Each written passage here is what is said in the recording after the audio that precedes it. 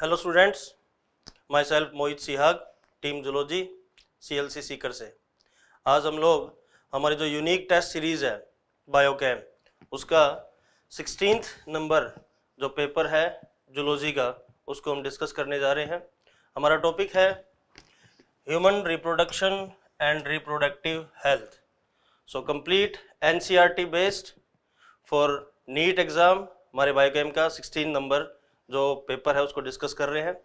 First question है हमारा which of the following natural contraceptive method use to prevent unwanted pregnancy निम्न में से कौन सी प्राकृतिक गर्भ निरोधक विधि का उपयोग अवांछित गर्भ निरोधन को रोकने के लिए किया जाता है?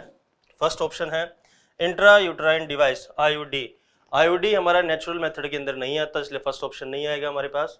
सेकंड ऑप्शन पेरोडिक एब्सटिसेंस बिल्कुल, आवधिक समय हमारा नेचुरल मेथड है, इसलिए हम सेकंड ऑप्शन के साथ जाएँगे। थर्ड ऑप्शन ट्यूबेक्टोमी की बात करें या कॉन्ट्रासेप्टिव पिल्स की बात करें, ये भी थर्ड और फोर्थ ऑप्शन ये भी हमारे नेचुरल मेथड्स में नहीं आते। तो हमारे फ़र्स्ट क्वेश्चन का आंसर है सेकंड पीरियोडिक एब्सटिटेंस या फिर अवधिक समय। नेक्स्ट अगला बढ़ते हैं हम। क्वेश्चन नंबर सेकंड की तरफ़। Which of the following is not according to the higher to lower in number हमें हाई टू लोअर नंबर की तरफ़ चेक करना है हमारे ऑप्शंस के अंदर। इनमें से कौन सा अधिक से कम की ओर नहीं है? सॉरी हम उसे चेक करना है जो कि हाई टू लोअर की ओर नहीं है। फ़र्स्ट है seminiferous tubules vasa efferentia epididymis second है मेमोरी ट्यूब्यूल्स अगला है मेमोरी डक्ट नेक्स्ट है मेमोरी एम्पुला थर्ड ऑप्शन है cell of zygote cell of morula cell of blastocyst इसमें जो हमारा थर्ड ऑप्शन है सेल ऑफ़ जाइगोट एक cell cell of morula eight to sixteen cell cell of blastocyst ये भी बढ़ता हुआ क्रम है, यानी लगातार बढ़ रहा है, यानी ये लो टू हाई की तरफ़ जा रहा है। इसलिए हमारा जो थर्ड ऑप्शन है सेल ऑफ़ जाइगोट जो सिंगल होती है cell morula eight to sixteen और सेल ब्लास्टोसिस जो थर्ड ऑप्शन है, वो बिल्कुल हाई टू लोअर की तरफ़ नहीं है, ये लो टू हाई की तरफ़ है। इसलिए हमारा ऑप्शन आएगा थर्ड इसके लिए। या अगर हिंदी में देखें तो युगमनस की कोशिका, मुरुला की कोशिका, कोरक पुट्टी की कोशिका, एक, आठ से सोलह और उससे ज़्यादा, यानी लगातार लो टू हाई जा रहा है, जबकि हमें चेक करना था कि हाई टू लो नहीं है, इसलिए हमारा ऑप्शन आएगा थर्ड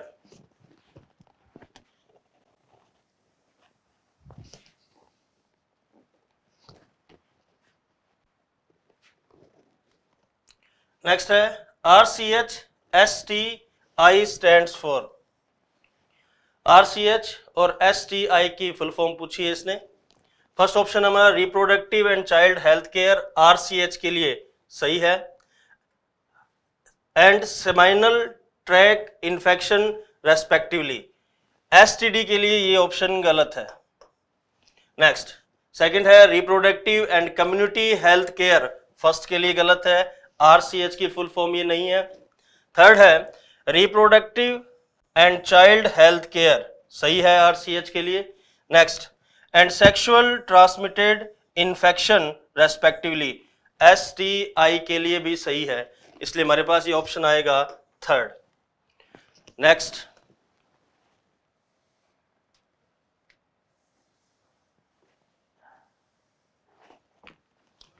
अगले क्वेश्चन की तरफ़ बढ़ते हैं question number fourth which of the which one not a correct statement इनमें से जो करेक्ट स्टेटमेंट नहीं है, हमें उसे आइडेंटिफाई करना है.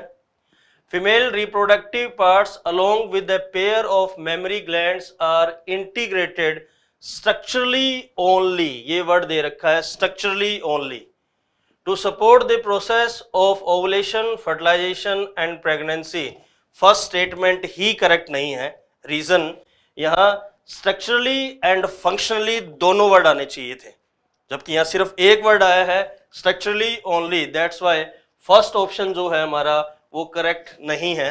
हिंदी में बात करें तो मादा जनन तंत्र के भाग एक जोड़ी स्तन ग्रंथियों के साथ केवल संरचनात्मक रूप से, ये जो वर्ड केवल है, संरचनात्मक रूप से ये जो है स्टेटमेंट को गलत कर रहा है, क्योंकि यहाँ संरचनात्मक और कार्यात्मक दोनों वर्ड आने चाहिए structurally and functionally that's why हमारा फ़र्स्ट ऑप्शन क्या है? करेक्ट नहीं है। सेकंड स्टेटमेंट पढ़ते हैं। In test tube baby programme the ovum and sperm are may be of donor बिल्कुल डोनर के हो सकते हैं। अगर स्पर्म काउंट कम है या स्पर्म में फर्टिलाइजेशन की एबिलिटी नहीं है या स्पर्म है ही नहीं, उसके पे जो ओरिजिनल पेरेंट के या मेल पेरेंट के पास में तो हम डोनर का यूज़ कर सकते हैं। सही है? Emotional religious social factors are also deterrent in the adoption of artificial reproductive technology या फिर एआरटी बिल्कुल सही है statement inability to conceive or produce children even after two year of unprotected sexual cohabitation in is called infertility बिल्कुल सही है। दो वर्ष से, दो वर्ष तक असुरक्षित सहवाग के बावजूद गर्भधारण या बच्चे उत्पन्न ना हो पाने की स्थिति को बंधता कहते हैं। मतलब सेकंड थर्ड और फोर्थ स्टेटमेंट हमारे बिल्कुल करेक्ट है। फ़र्स्ट स्टेटमेंट हमारा रोंग है। क्यों रोंग है? क्योंकि यहाँ स्ट्रक्चरली ओनली दे रखा है, यहाँ ना चाहिए था स्ट्रक्चरली एंड फंक्शनली सो हमारा फोर्थ क्वेश्चन का आंसर आएगा first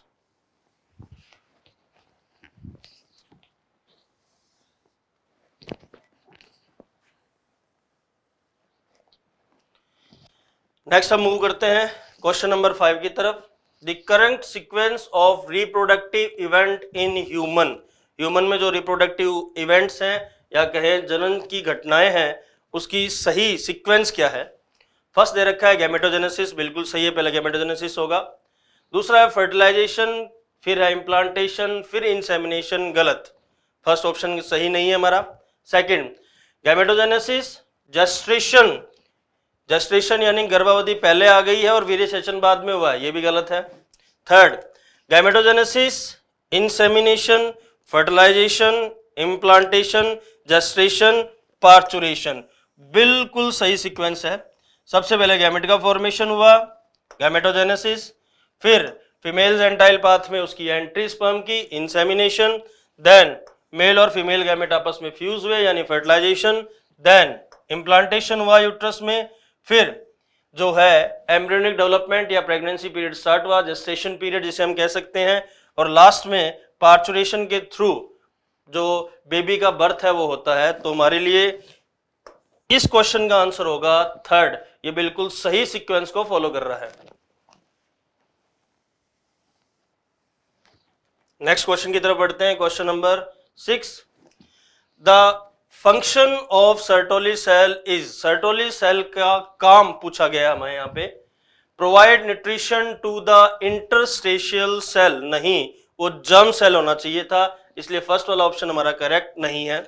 Second secretion some factors under the response of F S H will which help in spermiogenesis जो स्पर्मियोजेनेसिस का प्रोसेस है स्पर्मेटिड से स्पर्मेटोजोआ का बनना। उसके लिए ये कुछ फैक्टर्स का क्या करती है सिक्रेशन सही है ये बात? Synthesis and secretion of androgen ये काम सर्टोली सेल का नहीं है। सर्टोली सेल का काम ये काम जो है, ये काम है इंटरस्टेशियल सेल या लैंडिंग सेल्स का। थर्ड गलत। Cells from the blood brain barrier बिल्कुल नहीं है ब्लड ब्रेन बैरियर का फॉर्मेशन नहीं करती। इसलिए इस क्वेश्चन के लिए हमारा आंसर होगा। Six secretion some factor under the response of FSH which help in the spermiogenesis FSH के प्रभाव में कुछ घटकों का स्त्राव करती है जो शुक्र जनन में सहायता करते हैं। स्पर्मियोजेनेसिस की प्रोसेस तभी हो पाएगी जब वहाँ सर्टोली सेल्स जो हैं, वो फैक्टर्स देंगी ताकि स्पर्मेटिड को स्पर्मेटोजोवा के अंदर कन्वर्ट किया जा सके। तो क्वेश्चन नंबर सिक्स के लिए हमारा आंसर है सेकंड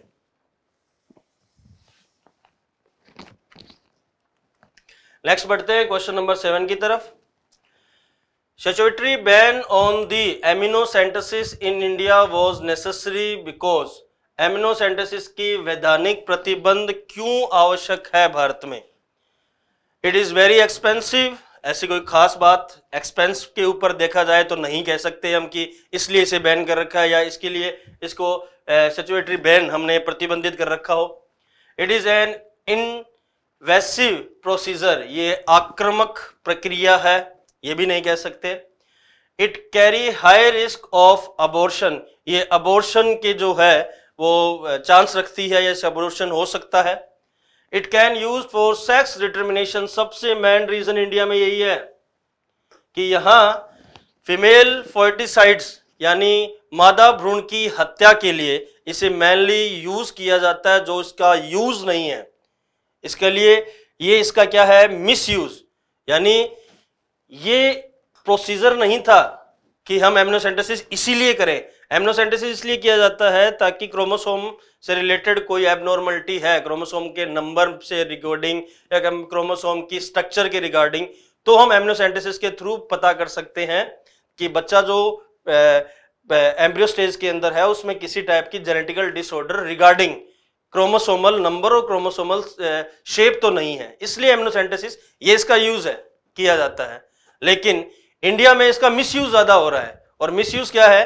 कि यहाँ मादा कन्या भ्रूण हत्या के लिए इसे यूज़ किया जाता है। इसलिए इसे वैधानिक प्रतिबंध के साथ में लागू किया गया था। या वैधानिक प्रतिबंध इसके लिए है, आवश्यक है। आंसर क्या आ जाएगा? फोर्थ सेवंथ क्वेश्चन का।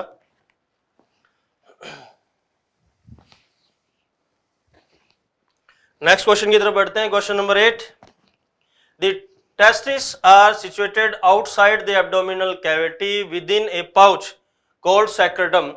This is necessary is, sacrotum में testis क्यों मिलते हैं या वहाँ प्रेजेंट क्यों होते हैं? इसका रीजन क्या है? Scrotum can contain lengthy duct for the transfer of the sperm ऐसा कोई खास बात नहीं कि उसको लेंथी डक्ट है, जो कि स्पम के ट्रांसफ़र के लिए हमें ज़रूरी होता है।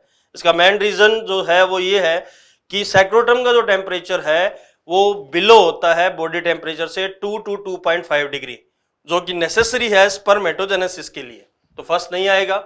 Second scrotum reduce the pressure over the testis ऐसा भी कोई खास नहीं है कि वो प्रेशर को रिड्यूस कर रहा हूँ। Third scrotum help in maintain low temperature of testis two to two point five degree which is necessary for the sperm production वृषण वृषण कोश के तापमान को कम रखता है। शुक्राणु उत्पादन के लिए क्या है? आवश्यक। बिल्कुल सही है। हमारा इस क्वेश्चन का आंसर आएगा थर्ड कि अगर दो से दो पॉइंट पाँच डिग्री कम नहीं होगा टेम्परेचर बॉडी से तो वहाँ टेस्टिस में स्पर्मेटोजेनेसिस नहीं हो सकता। दैट्स वाई वो एब्डोमिन से आगे नीचे डिसेंड होते हैं सैक्रोटम के अंदर। तो क्वेश्चन नंबर एट का आंसर हमारा है third.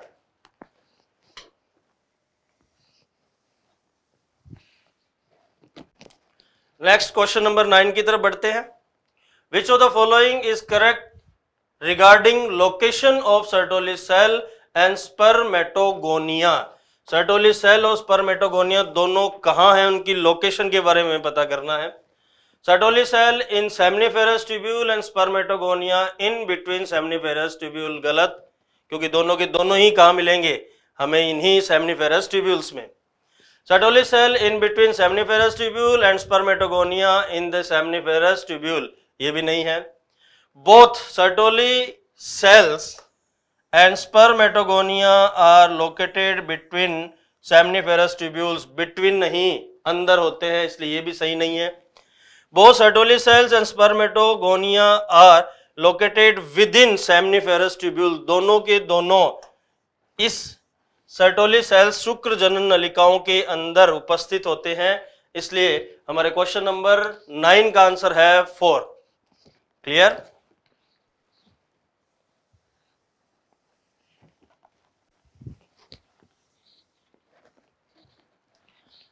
next question number ten की तरफ़ मूव करते हैं।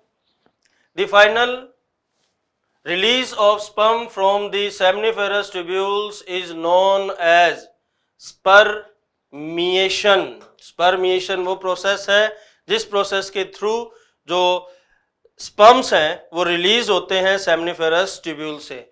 तो क्वेश्चन नंबर टेन का आंसर आ जाएगा first spermiation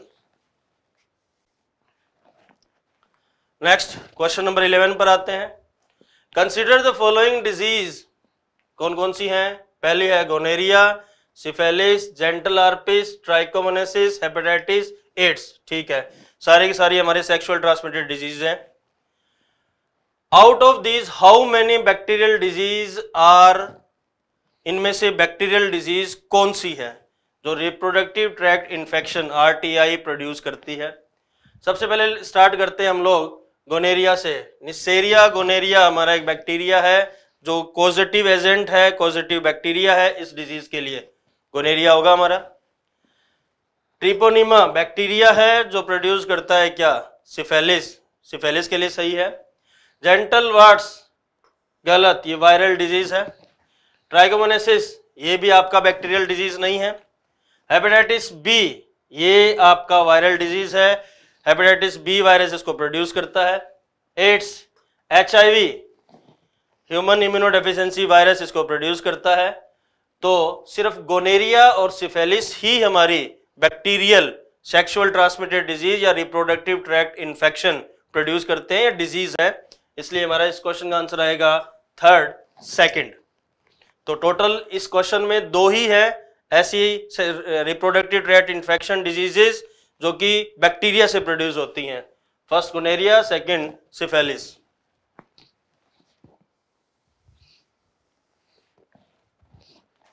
next बढ़ते हैं क्वेश्चन नंबर ट्वेल्व की तरफ़। Which of the following group of cells do not undergo in mitosis उन सेल्स के ग्रुप को बताओ जो माइटोसिस नहीं करती हैं। प्राइमरी स्पर्मेटोसाइट न्यूरॉन्स और आरबीसी प्राइमरी स्पर्मेटोसाइट मियोसिस करता है आपका। न्यूरॉन्स और आरबीसी में सेल डिवीज़न की एबिलिटी नहीं होती।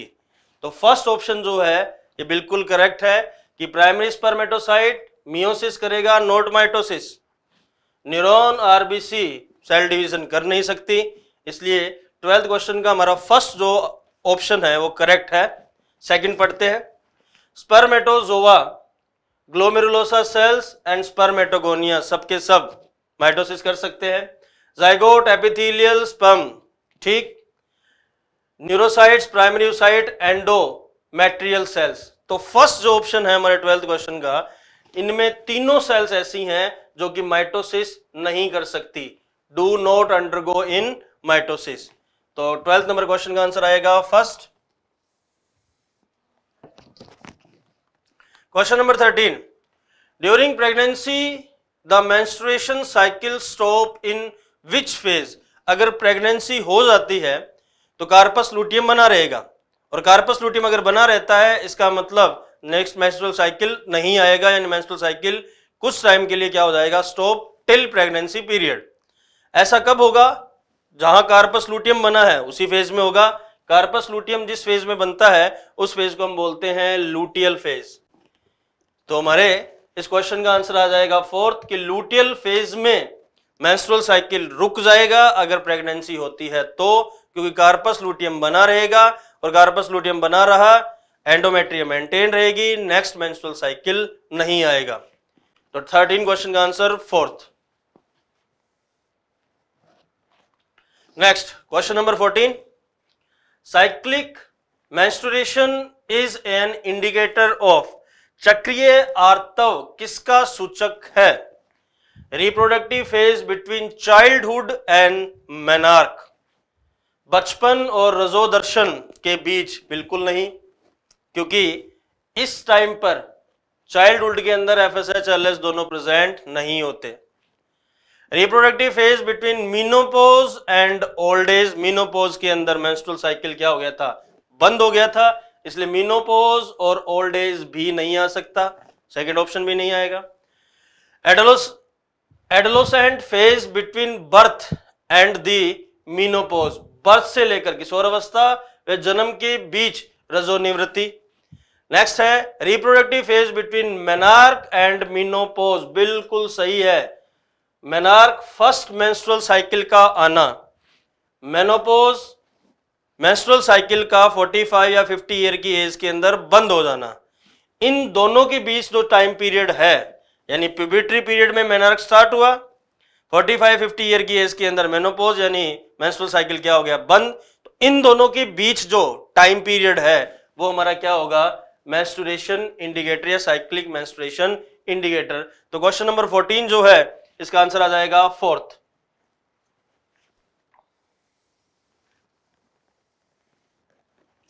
नेक्स्ट बढ़ते हैं। Question number 15 consider the following disease like ठीक है disease that are completely curable if detected early in treatment properly hepatitis B curable नहीं है, चाहे इसे डिटेक्ट कर लिया जाए अर्लियर तो भी। ट्राइगोमोनेसिस क्योरेबल है। गोनेरिया क्योरेबल है। सिफेलिस क्योरेबल इसका उपचार संभव है। एड्स का भी ट्रीटमेंट उपचार संभव नहीं है, ये भी क्योरेबल नहीं है। एंड जेंटल हार्पिस, इसका भी ट्रीटमेंट पॉसिबल नहीं है, यानी इसे भी अगर अर्ली डिटेक्ट कर लिया जाता है तो भी ये नॉन क्योरेबल डिज़ीज़ में आती हैं। तो हमारे पास ऑप्शन में ट्राइकोमोनासिस फ़र्स्ट गलत, एड्स गोनरिया गलत, गोनरिया सिफेलिस गलत, हेपेटाइटिस एंड जेंटल हार्पिस।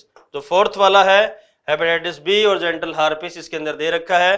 तो 15 क्वेश्चन का हमारा जो आंसर है following disease curable if sorry पूछ रहा है कि क्योरेबल कौन सी है?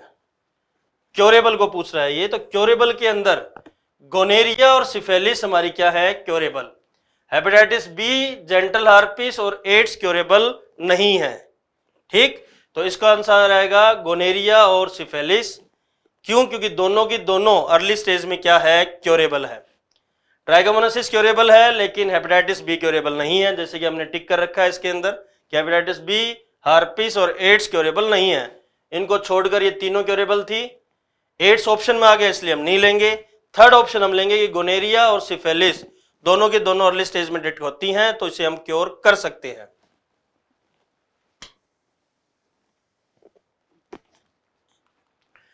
Question number 16. The tertiary follicle can differentiate from secondary follicle by the presence of antrum. वो कैविटी जो कि टर्सरी फॉलिकल के अंदर प्रेजेंट होती है नोन एज ए एंट्रम वो सिर्फ़ टर्सरी फॉलिकल में थी सेकेंडरी फॉलिकल में नहीं थी तो हम कह सकते हैं कि एंट्रम की प्रेजेंस की वजह से हमने उसे अलग किया है आंसर आएगा 16 का fourth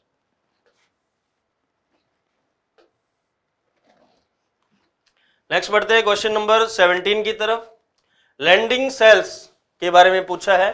Are present in seminiferous tubules and secrete androgen ये सेमनीफेरस ट्यूब्यूल्स के अंदर नहीं, बल्कि सेमनीफेरस ट्यूब्यूल्स के बीच में प्रेजेंट होती हैं. यहाँ प्रेजेंट होती है, यानी सेमनीफेरस ट्यूब्यूल्स के बीच में. Are present in seminiferous tubule are present between seminiferous tubules, बिल्कुल सही है। And secrete androgen male sex hormone testosterone को एंड्रोजन बोला जाता है। तो हमारे क्वेश्चन नंबर 17 का आंसर आ जाएगा थर्ड ये प्रेजेंट है सेमनीफेरस ट्यूब्यूल्स के बीच में, इस जगह पर। इस जगह को बोलते हैं इंटरस्टेशियल स्पेस इसलिए लैंडिंग सेल्स का दूसरा नाम है interstitial cells third option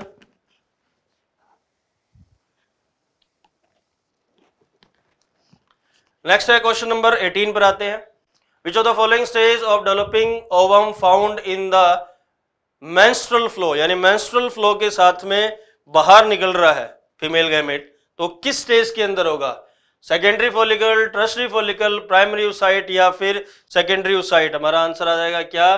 secondary oocyte जिसका फर्टिलाइजेशन नहीं हुआ, वो मेंस्ट्रुअल फ्लो के साथ में क्या निकल गया? बाहर। तो 18 का आंसर फोर्थ नेक्स्ट आते हैं क्वेश्चन नंबर 19 पर। Which of the following statement is correct surgical method of contraception prevent gamete fertilization गर्भ निरोधक की शल्य क्रिय विधियाँ युग्मकीय निषेचन को रोकती हैं, बिल्कुल रोकती हैं साहब, उसे युग्म का ट्रांसफ़र रुक जाएगा। Some sexual transmitted disease are completely curable बिल्कुल कुछ क्योरेबल होती है, जो बताया था मैंने अभी। हेपेटाइटिस बी एड्स और जेंटल वार्ड्स को छोड़ दो तो बाकी सारी लगभग क्या है? क्योरेबल है। In embryo transfer technology gametes are always transfer into uterus इसमें एम्ब्रियो ट्रांसफ़र के अंदर, अगर हम उसको ट्रांसफ़र कर रहे हैं तो वो यूट्रस के अंदर जाए, हमेशा ऐसा पॉसिबल नहीं है। हम उसे फेलोपियन ट्यूब में भी ट्रांसफ़र कर सकते हैं। Z I F T zygote intra fallopian transfer हमारे पास एक मेथड था अवेलेबल है, इसलिए थर्ड पूरी तरह करेक्ट नहीं है। Saheli the new oral contraceptive for the female contain steroidal preparation नहीं आना चाहिए था। It's a non steroidal preparation तो हमारा थर्ड सॉरी फोर्थ गलत है थर्ड गलत है। ए और बी दोनों क्या है? सही। ऑप्शन के अंदर हमारे दे रखा है फ़र्स्ट ए एंड बी तो हम 19 में ऑप्शन फ़र्स्ट के साथ जाएँगे।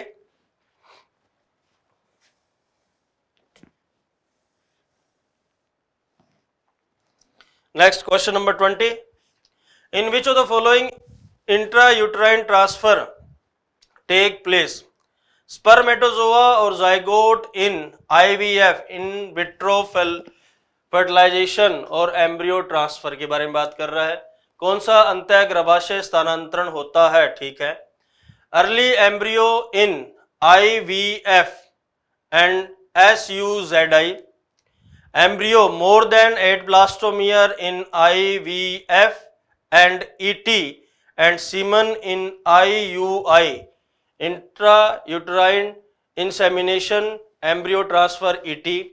Next, sperm in ICSI and zygote in ZIFT.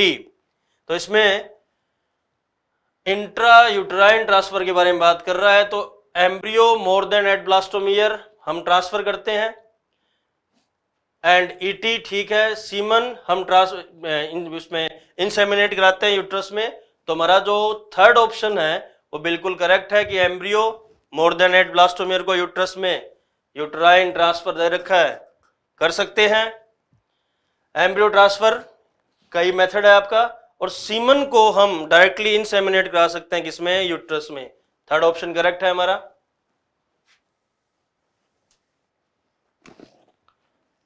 Next question number twenty one the ejaculatory duct formed by the union of ejaculatory duct किसके यूनियन से बनती है? ये बनती है हमारी समाइनल वेसिकल और इसमें ऑप्शन दे रखा है, वसा डिफ्रेंशिया और एपिडिडाइमिस नहीं। समाइनल वेसिकल एपिडिडाइमिस नहीं। फ़र्स्ट दोनों ऑप्शन नहीं आएँगे। नेक्स्ट है, vasa deferentia duct of seminal vesicle बिल्कुल सही है। इधर से आती थी आपकी वसा डिफ्रेंशिया यहाँ था समाइनल वेसिकल और ये थी इसकी डक्ट दोनों जब यूनियन कर लेती हैं, तब इसे बोला जाता है इजैकुलेटरी डक्ट तो इजैकुलेटरी डक्ट एज सच ये थी। किससे बनी? कि वसा डिफ्रेंशिया आई, साथ में जो डक्ट थी समाइनल वेसिकल की, वो आई। तो हमारा आंसर आ जाएगा थर्ड ट्वेंटी फ़र्स्ट क्वेश्चन में।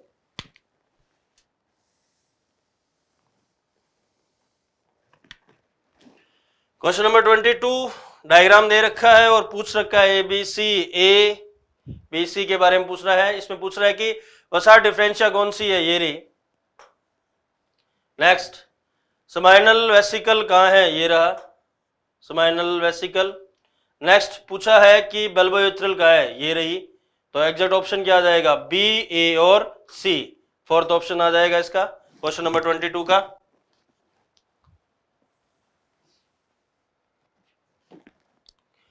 क्वेश्चन नंबर ट्वेंटी थ्री की तरफ़ बढ़ते हैं। In adult human is testis is spherical in shape with the length और four to five centimetre and width of two to three centimetre next spherical in shape length of two to three four to five oval shape पहले दोनों के अंदर जो गलत है, वो क्या है? स्पेरिकल शेप ये नहीं होती है टेस्टिस की। इसलिए फ़र्स्ट और सेकंड ऑप्शन हमारा गलत है। Third oval shape length of two to three, oval shape सही है, लेकिन लेंथ गड़बड़ कर दी इसने। ये गलत है। ट्वेंटी थ्री में फोर्थ ऑप्शन है, ओवल इन शेप बिल्कुल सही है। With length of four to five centimetre and width of two to three centimetre, बिल्कुल करेक्ट। तो आकृति में अंडाकार, लंबाई में चार से पाँच सेंटीमीटर और चौड़ाई में दो से तीन centimetre. Twenty three number question का आंसर आ जाएगा फोर्थ।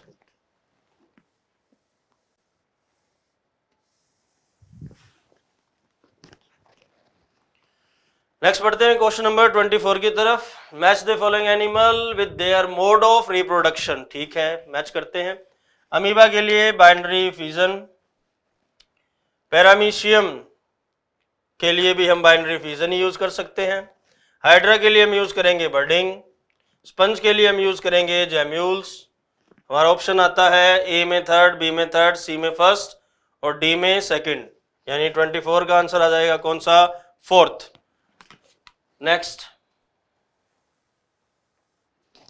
बढ़ते हैं क्वेश्चन नंबर ट्वेंटी फाइव की तरफ़. The functional mammary gland of female located on वो कहाँ लोकेटेड होती हैं? ग्लूटियस मैक्सियस मसल्स के ऊपर नहीं पैक्टोरिस मेजर मसल के ऊपर, बिल्कुल करेक्ट एनसीआरटी में जो मेमोरी ग्लैंड का डायग्राम दे रखा है, उसमें क्लियर कट मेंशन है इन मसल्स का नाम. पैक्टोरिस मेजर मसल्स आंसर आ जाएगा सेकंड नेक्स्ट क्वेश्चन नंबर 26 की तरफ़ मूल करते हैं. In Graafian follicle the secondary oocyte forms which layer around it itself कुल मिलाकर बात ये कहना चाहता है कि which egg membrane secreted by the ovum itself या सेकेंडरी साइट इटसेल्फ, उसका नाम था zona pellucida, primary egg membrane, जिसका सिक्रेशन खुद गैमेट करता है। Second option, question number twenty seven, column A और बी दे रखा है और हमें मैच करना है। ट्रोफोब्लास्ट एमेंडेड ब्लास्टोसिस्ट नई group of cell differentiate outer layer of the blastocyst ठीक है? Cleavage group of cell that would differentiate as embryo mitotic division of the zygote fourth आ जाएगा। Implantation embedded of the blastocyst in endometrium inner cell mass group of cell that would differentiate as embryo तो इसके अंदर हम check करें तो ए में third B के अंदर ए में फोर्थ सॉरी बी में थर्ड ए में फोर्थ और एक मिनट इसमें करेक्ट करते हैं, रुको। दोबारा ट्रोफोब्लास्ट आउटर लेयर अच्छा ये है। थर्ड है of the blastocyst cleavage mitotic cell division implantation में आ जाएगा blastocyst of endometrium inner cell mass में आएगा डिफ्रेंशिएट इनटू द एम्ब्रियो तो ए में थर्ड और बी के अंदर फोर्थ सी में फ़र्स्ट और डी में सेकंड हमारा ऑप्शन आ रहा है third correct question number twenty seven का आंसर है थर्ड क्लियर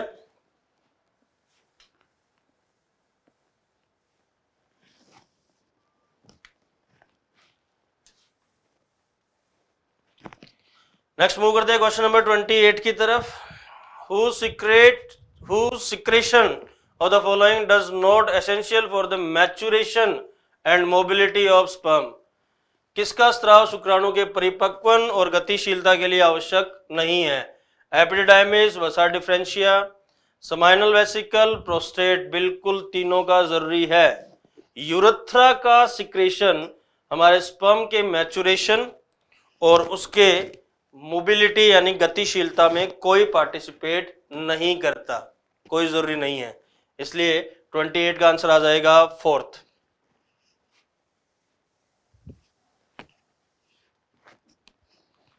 नेक्स्ट बढ़ते हैं क्वेश्चन नंबर 29 की तरफ़। The process of oogenesis is initiate during puberty embryonic development oogenesis start हो जाता है एम्ब्रियो स्टेट के दौरान ही। भ्रूणीय प्रवर्धन की अवस्था में ही इसका क्या हो जाता है? आरंभन या फिर स्टार्ट तो क्वेश्चन नंबर ट्वेंटी नाइन का आंसर आएगा हमारे पास second next thirty number question पर आते हैं।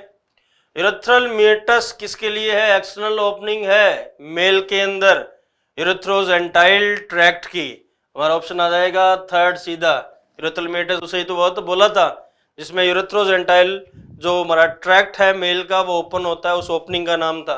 तो नर मूत्र जनन नलिका का बाह्य छिद्र, उसे बोला जाता है मूत्राशय मुख या फिर यूरेथ्रल मेटस तो क्वेश्चन नंबर थर्टी का आंसर आ जाएगा third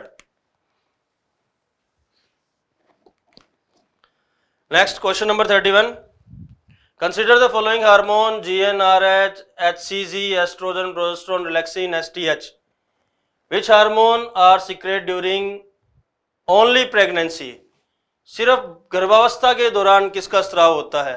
इसमें सबसे पहले आएगा आपका एचसीजी जो सिर्फ़ एम्ब्रियो स्टेज में ही आएगा। दूसरा ह्यूमन प्लेसेंटल लैक्टोजन एच दो, और तीसरा है रिलैक्सिन जो कि प्रेगनेंसी के लास्ट में पार्चुनेशन के टाइम पर आता है। तो एचसीजी आपका एचपीएल और रिलैक्सिन ऑप्शन है हमारा fourth clear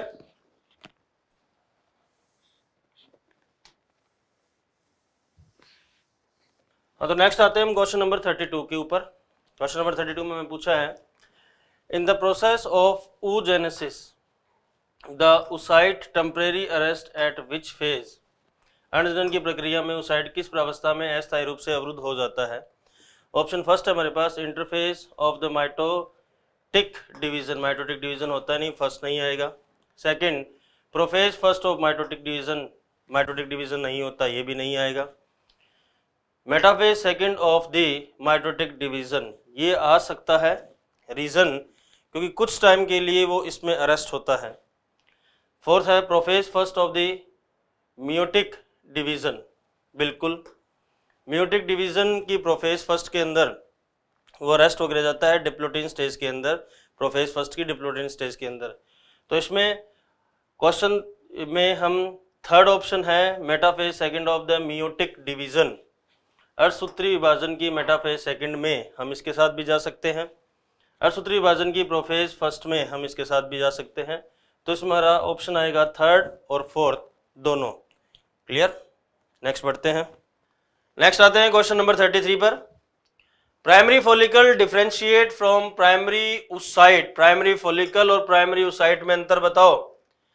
Antrum granulosa cell zona pellucida या फिर जोना रेटिकुलेरिस प्राइमरी उसाइट जो कि मियोसिस स्टार्ट करेगा। उसके चारों तरफ़, अगर मेम्ब्रेन ग्रेनुलोसा लेयर प्रेजेंट है जिसे हम नॉर्मली रिप्रेजेंट करते हैं एमजी से ग्रेनलोसा सेल की लेयर मेम्ब्रेन ग्रेनुलोसा अगर है तो हम उसे प्राइमरी फॉलिकल कहेंगे। तो प्राइमरी फॉलिकल और उस साइड में सिर्फ़ एक अंतर इस लेयर का, बनी किसे? ग्रेनलोसा सेल से। आंसर क्या आएगा? सेकंड कणिकीय कोशिकाओं का स्तर सिर्फ़ और सिर्फ़ प्राइमरी फॉलिकल पर मिलता है प्राइमरी साइट पर नहीं मिलता। तो क्वेश्चन नंबर थर्टी थ्री का आंसर आ जाएगा हमारे पास सेकंड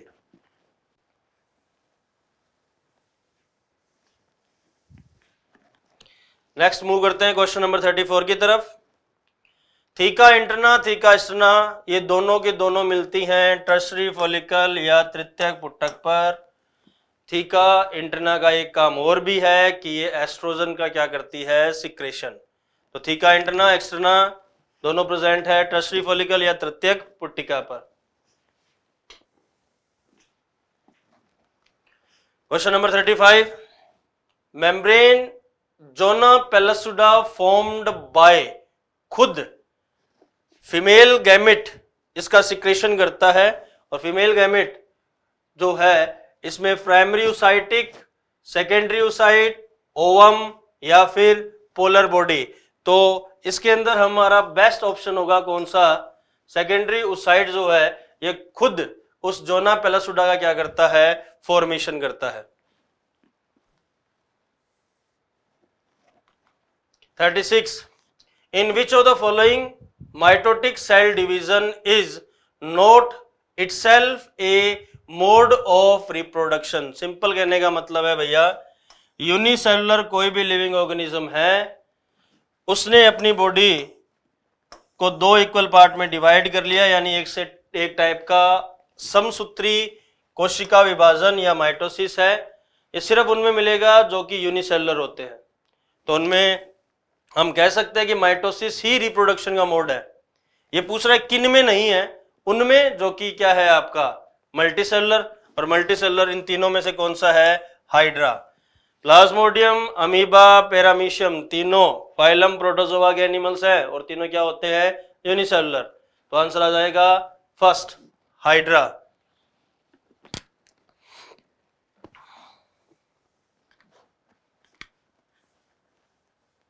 नेक्स्ट आते हैं क्वेश्चन नंबर थर्टी सेवन की तरफ़। कॉलम मैच करना है। हेड ऑफ़ स्पर्म इसमें होगा heredity material middle piece energy का चैम्बर क्योंकि माइट्रोकोन्ड्रिया होता है वहाँ पर। एक्रोसोम लाइटिक एंजाइम रखता है जो कि एग मेम्ब्रेन को पेनिट्रेट करने में काम आएगी। टेल स्पम की मोबिलिटी मैच करें। ए में फोर्थ ठीक।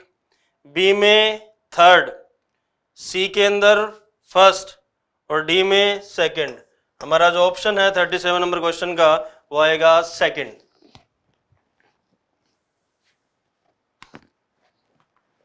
question number thirty eight A method of directly injected a sperm into womb into artificial sorry assisted reproductive techniques इसमें आ जाएगा intracytoplasmic sperm insemination I C directly हम एक शुक्राणु को सीधे अंडाणु में प्रवेश करवाते हैं through injection thirty nine choose the right one among the statement given below इनमें से सही कथन को हमें ढूंढना है। IUDs are generally inserted by doctor और एक्सपर्ट नर्स ठीक है। IUDs increase phagocytosis reaction in the fallopian tube गलत, वो यूट्रस में एस्टेब्लिश की जाती हैं। सेकंड गलत है हमारा। आयोडीज सप्रेस परमेटोजेनेसिस गलत। IUDs once inserted need replace twice at daily गलत। आंसर क्या जाएगा? First the statement given below right को ढूंढना था तो 39 में आंसर आएगा first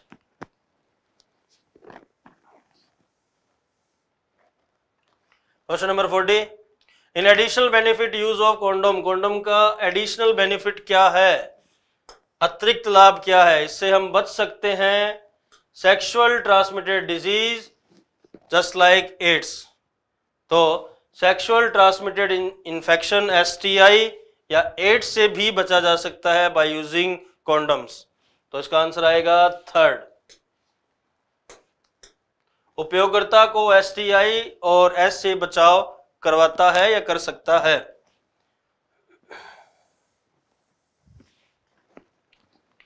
Question number 41 the correct statement regarding I V F Z I F T in vitro fertilization zygote intrafallopian transfer procedure के बारे में पूछ रहा है हमें। In the sperm and ovum are always from husband and wife respectively ज़रूरी नहीं है। डोनर भी यूज़ कर सकते हैं। फ़र्स्ट स्टेटमेंट बिल्कुल करेक्ट नहीं है। Next zygote transfer into uterus Z I F T की बात कर रहा है। फेलोपिन ट्यूब में चाहिए। गलत है। Ova from wife donor sperm from husband donor बिल्कुल सही। थर्ड ऑप्शन फोर्थ चेक करते हैं, फोर सेल एम्ब्रियो नहीं। मोर देन एट को यूट्रस में ट्रांसफ़र किया जाता है, इसलिए आंसर क्या आएगा? Third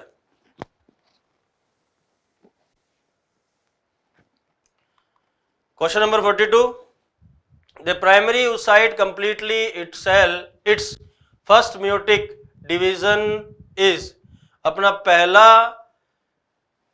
अर्धसूत्री विभाजन या माइटोटिक डिवीज़न कौन पूरा करता है? प्राइमरी सेकेंडरी टर्सरी या ग्राफियन? टर्सरी फोलिकल में ही हमें सेकेंडरी साइट और फ़र्स्ट पोलर बॉडी मिली थी। तो क्वेश्चन नंबर फोर्टी टू का आंसर आ जाएगा second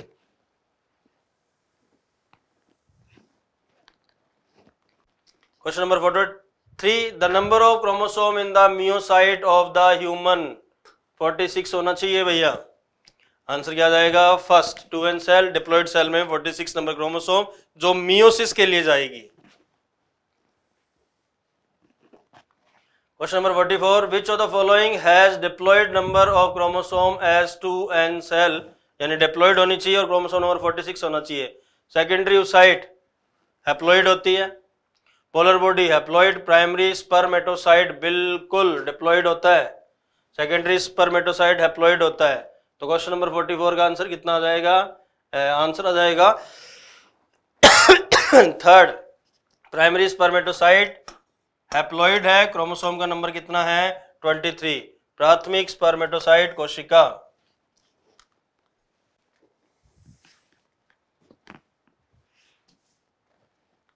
Question number 45 a large number of which type of follicle degenerate during the phase from the birth and puberty? जन्म से यौनावस्था के बीच में बहुत से प्राइमरी फॉलिकल जो है वो डिजनरेट हो जाते हैं। इन्हें फॉलिकुलर एट्रेशिया प्रोसेस को और एट्रेटिक फॉलिकल उनको बोला जाता है। इसमें कौन आएगा? आपका प्राइमरी फॉलिकल जो है, वो लगातार क्या होता है? डिजनरेट होता है। बनते कई लाख हैं, लेकिन बसते सिर्फ़ सिक्सटी टू एटी थाउज़ेंड ही हैं। इसलिए थर्ड ऑप्शन फोर्टी फाइव का। Question number forty six in which phase of the menstrual cycle the hormone, progesterone, secrete in large amount, ये करता है कार्पस लूटियम और कार्पस लूटियम जिस फ़ेज़ में आता है, उसे बोला जाता है लूटियल फ़ेज़ तो क्वेश्चन नंबर फोर्टी सिक्स का आंसर आ जाएगा थर्ड और एक ही बार पीक अटेन करेगा प्रोजेस्ट्रॉन और वो भी लूटियल फ़ेज़ में कौन देगा? Corpus luteum number forty seven the signal for the parturition originated from fully developed fetus placenta को पकड़कर खींचेगा। आंसर क्या जाएगा? बोथ फ़र्स्ट एंड सेकंड तो fully developed placenta sorry fully developed embryo जो है, वो प्लेसेंटा को पकड़कर क्या करेगा? स्ट्रेच करेगा। स्ट्रेच होने से first foetal ejection reflex start होगा, जिससे कि पार्चुरेशन की प्रोसेस स्टार्ट होगी, क्योंकि उससे ही ऑक्सीटोक्सिन का सिक्रेशन शुरू होगा। तो इसका आंसर आ जाएगा third both first and second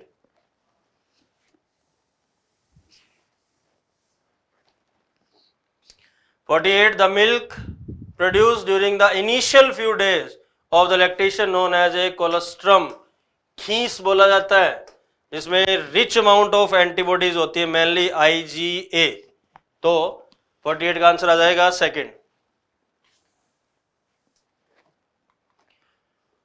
49 column match करने हैं हमें। हर्ट फॉर्मेशन कब हो जाएगा? After one month of the pregnancy development of the limbs जो लिम्स है, उनका डेवलपमेंट सेकेंड मंथ के आसपास। फ़र्स्ट मूवमेंट फिफ्थ मंथ में। Eyelids end of the second trimester तो क्वेश्चन नंबर जो 49 है, इसका हमारा जो आंसर है, वो बैठ रहा है। फ़र्स्ट में सी सेकंड में ए थर्ड के अंदर बी और फोर्थ में D fourth option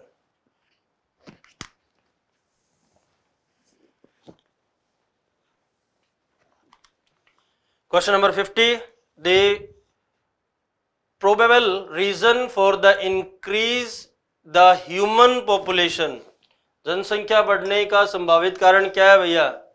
Rapid decline in death rate बिल्कुल। मृत्यु दर में क्या हो रही है? गिरावट। एमएमआर मदर मोर्टलिटी रेट में भी क्या हो रही है? कमी, सही। Decline in IMR infant mortality rate बिल्कुल सही। उसमें भी कमी हो रही है। इंक्रीज रिप्रोड्यूसिबल एज पीपल बिल्कुल। वो पर्सन जो कि जनन आयु वाले हैं, उनकी संख्या लगातार बढ़ रही है। तो इसमें आपका आ जाएगा A B C D third option question number fifty में आएगा third option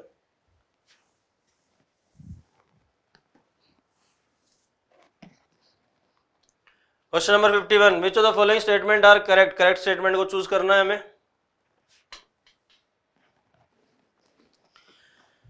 Sperm head contain DNA and acrosome बिल्कुल सही है.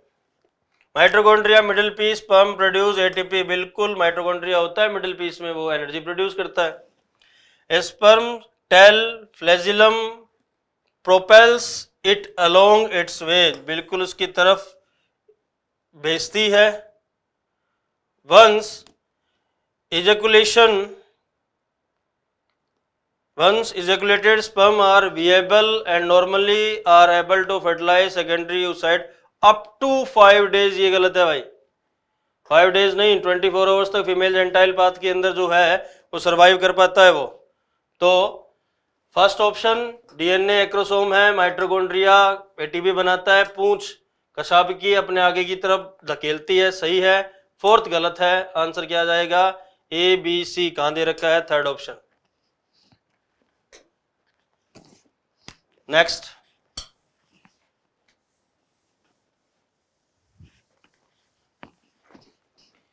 question number 52 extrusion of first polar body from oocyte occur first polar body कब निकलती है भैया? बिफोर ओवलेशन ही निकलेगी, क्योंकि जब ओवलेशन हो रहा होता है, उस टाइम ग्राफिन फॉलिकल टूटती है। ग्राफिन फॉलिकल के फॉर्मेशन के टाइम ही लगभग वो क्या हो जाती है? डिसअपियर हो जाती है या फिर वो नहीं रहती है। आंसर क्या आ जाएगा इसका? 52 का।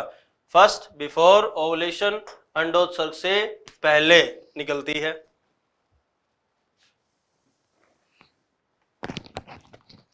Question number 53 the difference between spermiation and insemination spermiation और वीर्यसेचन में अंतर बताइए, ठीक है? In spermiation spermatozoa are release from Sertoli cell spermination दे दिया, इसमें गलत है ये।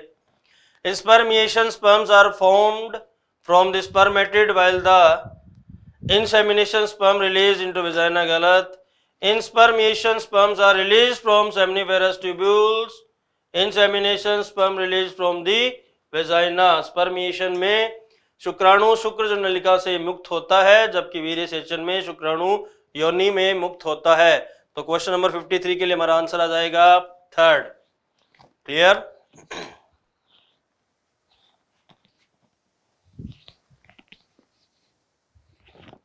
next question number 55 54 sorry वापस हमें कॉलम मैचिंग करनी है. The site of implantation uterus होगा. बर्थ कैनाल वेजाइना और सर्विक्स प्रोजेस्ट्रॉन सिक्रेशन करता है corpus luteum site of fertilization fallopian tube A में फोर्थ बी में थर्ड सी में सेकंड और डी में फ़र्स्ट ऑप्शन आ जाएगा हमारा फोर्थ क्वेश्चन नंबर 54 के लिए. नेक्स्ट ए में सॉरी सॉरी ए में थर्ड है ए में थर्ड है थर्ड ए में थर्ड है और बी में फोर्थ है और सी में फ़र्स्ट है सी में सेकंड है और डी में फ़र्स्ट है. सॉरी हमारा आंसर आएगा फ़र्स्ट ए में थर्ड लिख रखा है ना हमने, ये रहा. तो 54 के लिए हमारा आंसर आ जाएगा first question number 55 Sertoli cells are found in testis और वो भी कहाँ पर? सेमनीफेरस ट्यूब्यूल्स के अंदर। 55 का answer third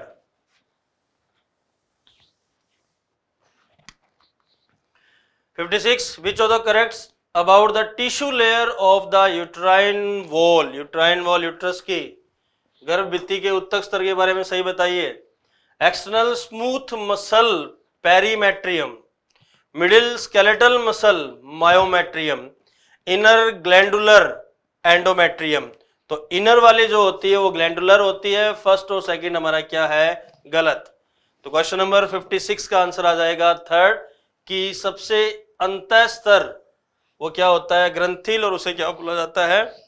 endometrium. Menstrual cycle के दौरान इसी लेयर के अंदर साइक्लिक चेंज या चक्रीय परिवर्तन आते हैं।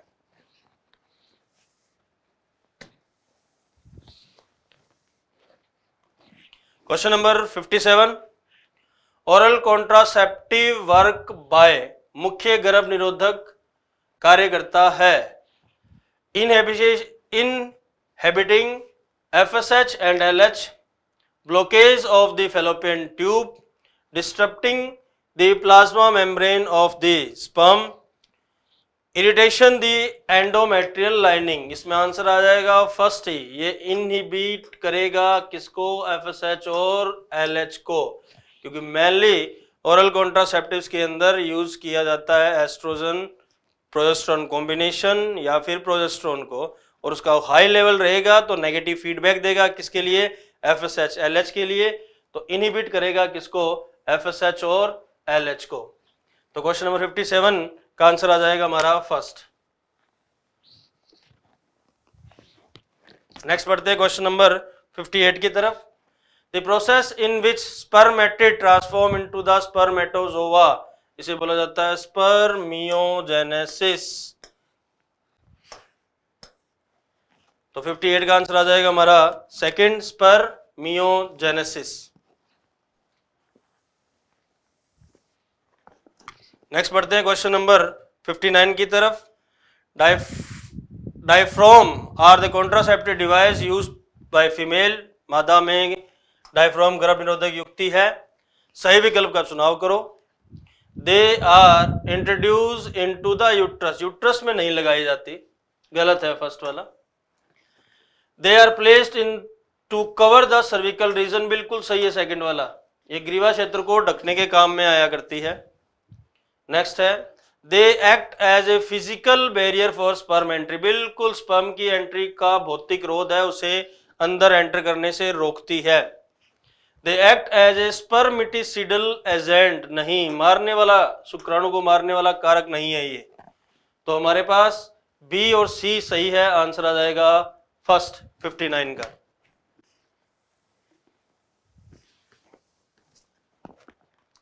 Question number 60 A terminal method of the contraceptive in the female is एक स्थायी विधि परमानेंट मेथड की बात कर रहा है ये।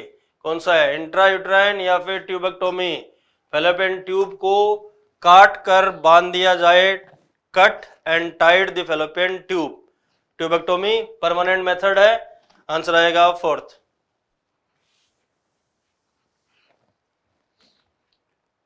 question number sixty one which of the following is a blind tube in reproductive system blind tube का मतलब होता है जिसकी ओपनिंग सिंगल हो।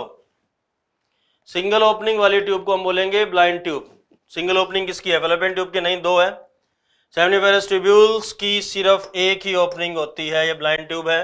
वसा डिफरेंशियल नहीं है एजाकुलेटरी डक्ट नहीं है। आंसर क्या आ जाएगा 61 का? सेकंड सेमिनिफेरस ट्यूब्यूल क्योंकि इसके पास सिंगल ओपनिंग थी। ये ब्लाइंड शेक कैविटी है। या ब्लैंक शेक ट्यूब है। नेक्स्ट क्वेश्चन नंबर 62 पर आते हैं। Which the correct about three layers during the embryonic development तीन जर्मिनल लेयर्स बनती हैं outermost ecto meso middle होती है इनर होती है endo the initial ectoderm mesoderm form and endoderm are appear soon between नहीं गलत। ये कह रहा है कि पहले एक्टो आई मीजो आई, उसके बीच में एंडो आई, गलत है। इनिशियली मीजो एंडो गलत सेकंड भी। Initially endo meso formed ecto नहीं। इनिशियली एक्टो एंडो फॉर्म्ड बिल्कुल पहले एक्टो फिर endo mesoderm soon appear between them बिल्कुल मिजोडम उन दोनों के बीच में अपियर होती है, बीच में उनका फॉर्मेशन होता है। तो एक्टो एंडो पहले बनी, बीच में कौन सी आई? मीजो आंसर क्या जाएगा फोर्थ। इनिशियली आरंभ में बाह्य त्वचा, मध्य जनन स्तर के बीच में प्रकट होता है, बाह्य और अंत के बीच। एक्टो और एंडो के बीच में आता है meso fourth option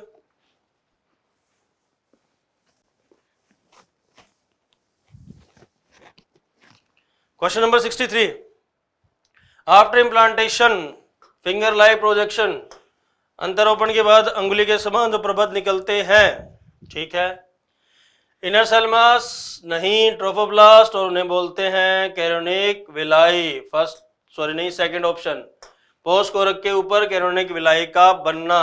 यही होती हैं जो इम्प्लांटेशन के टाइम पर फिंगर लाइक प्रोसेस का क्या होता है? फॉर्मेशन 63 का आंसर आ जाएगा second Question number 64. The interdigitation occur in which of the following? वो इंटरडिजिटेशन उसी की बात कर रहा है कैरोनिक विलाई की ये रही chorionic villi between chorionic villi of the ट्रोफोला and trophoblast नहीं between uterine tissue and endometrium between uterine tissue and chorionic villi 64 में थर्ड आंसर जो है, ये बिल्कुल सही है कि इंटर डिजिटेशन किसके बीच में होता है ये रहा यूट्रस तो यूट्राइन के टिश्यू यहाँ पर प्रेजेंट होंगे। यूट्राइन के टिश्यू इस एरिया में, और ये है आपकी कैरोनिक विलाई, जो प्रेजेंट है, बनते हैं फिंगर लाइक प्रोसेस इन दोनों के बीच में इंटरडिजिटेशन या अंतरा गुलिसन का है, पाया जाता है। तो क्वेश्चन नंबर 64 का आंसर थर्ड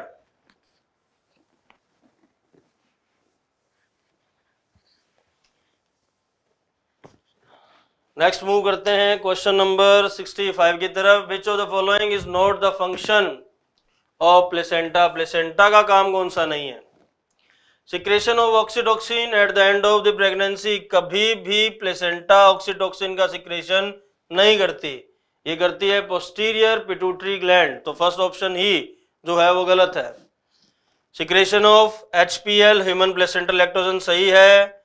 ह्यूमन कैरोनिक गोनेडोप्रेन सही है एस्ट्रोजन प्रोजेस्ट्रॉन सही है तो 65 का आंसर आ जाएगा first oxytocin posterior pituitary gland neuro hypophysis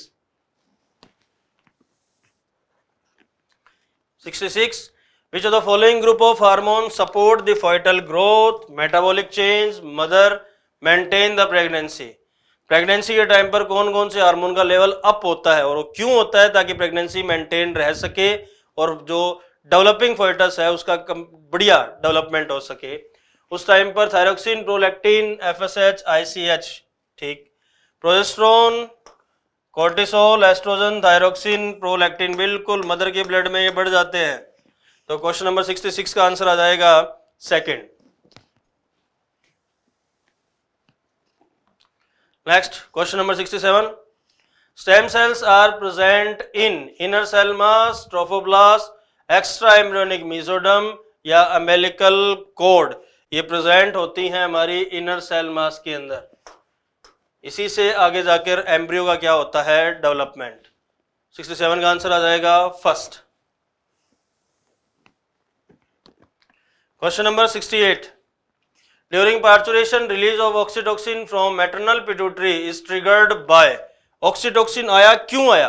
इसके लिए पहले भी हमने डिस्कशन किया था कि फुल्ली डेवलप्ड एम्ब्रियो ने प्लेसेंटा को पकड़ के स्ट्रेच किया। स्ट्रेच करते ही जो यूट्राइन मसल्स थी, उनमें माइल्ड कॉन्ट्रैक्शन हुआ और उस माइल्ड कॉन्ट्रैक्शन के कारण एक न्यूरल रिफ्लेक्स निकला that known as a first foetal ejection reflex clear उसकी वजह से ऑक्सीडोक्सिन का सिक्रेशन हुआ था। ऑप्शन पढ़ते हैं। Fully developed foetus only placenta only mild uterine contraction अभी बताया था कि जब वो स्ट्रेच हुआ प्लेसेंटा तो गर्भाशय में हल्के संकुचन, माइल्ड कॉन्ट्रैक्शन हुए that known as first foetal ejection reflex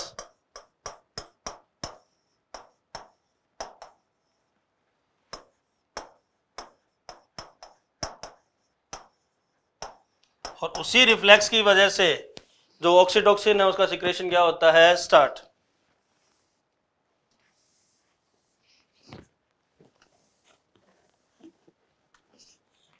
sixty nine which of the following contraceptive methods do involve a role of hormone कौन से ऐसे गर्भ निरोधक युक्तियाँ हैं या विधियाँ हैं जिसमें हार्मोन का यूज़ होता है?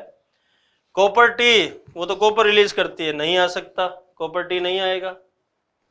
दूसरा पिल्स इम्प्लांट्स लैक्टेशन एनिमोरिया बिल्कुल सही है सेकंड ऑप्शन पिल्स के अंदर oestrogen progesterone oestrogen progesterone implants में लैक्टेशन एनिमोरिया पीआरएल का लेवल हाई रहेगा तो एफ़ कम रहेगा। हार्मोन है तो ऑप्शन आएगा second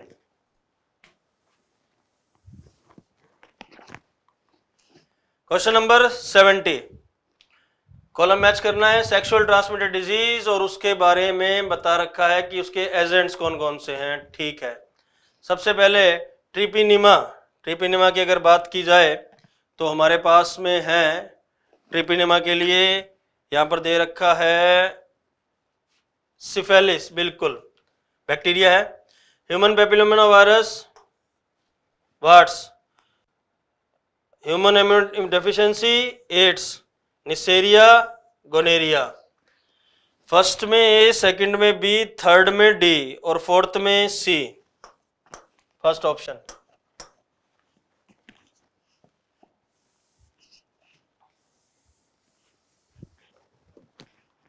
Question number seventy one. Consider the following better awareness about the sex related matters यौन संबंधी पहलुओं के प्रति जागरूकता क्या पूछना चाह रहा है ये? इनमें से आईएमआर, एमएमआर में गिरावट करते हैं। बिल्कुल सही है। अगर जागरूकता होगी अवेयरनेस होगी तो infant mortality rate mother mortality rate दोनों में कमी आएगी। Increase number of medical assisted device बिल्कुल चिकित्सीय सहायता अगर सही है तो दोनों की डेथ रेट में कमी आएगी।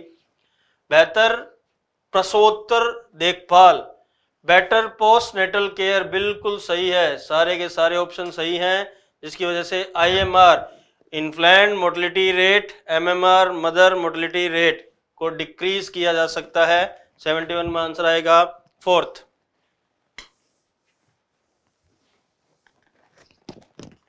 seventy two the fertile period of human female is ten to seven days after ovulation गलत।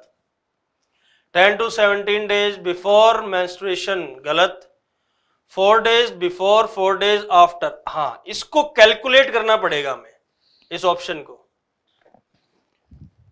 ओवुलेशन का टाइम क्या था? Fourteenth day. ये कह रहा है फोर डे बिफोर, यानी टेंथ डे, फोर डे बाद, यानी एटींथ डे। और according to NCERT ten to seventeen day जो था, इसमें अगर कोइटस को अवॉइड किया जाए तो वहाँ प्रेगनेंसी के चांसेस जो हैं, वो बहुत कम रह जाते हैं या नहीं रह, ना के बराबर रह जाते हैं। तो हमारा जो थर्ड ऑप्शन है, वो बिल्कुल करेक्ट है। सेवेंटी टू में आंसर आएगा third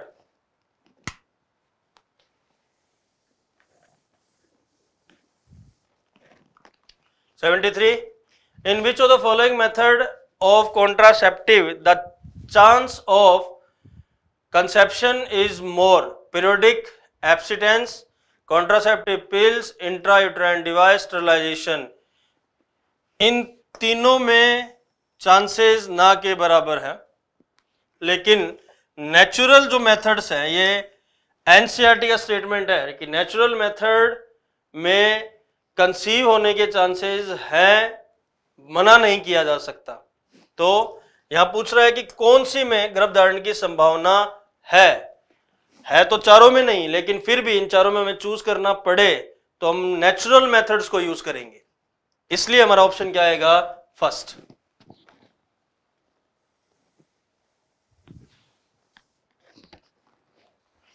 seventy four the hormone releasing IUDs L N G twenty और प्रोजेस्टा सर्ट थर्ड ऑप्शन आ जाएगा हमारा। सीधा ही।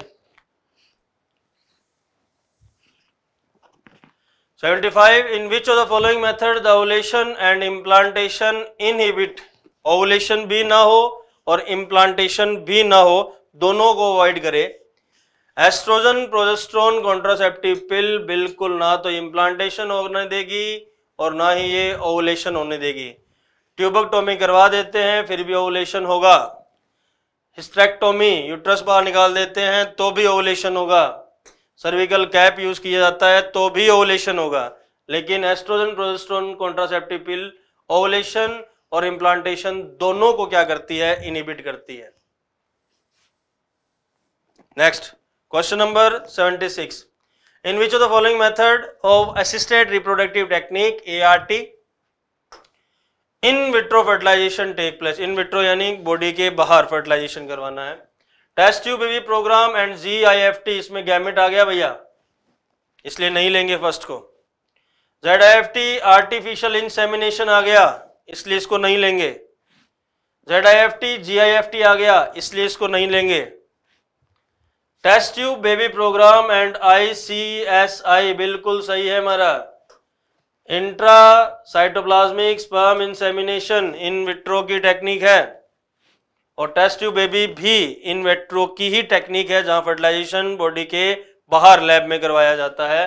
तो 76 का आंसर आएगा four.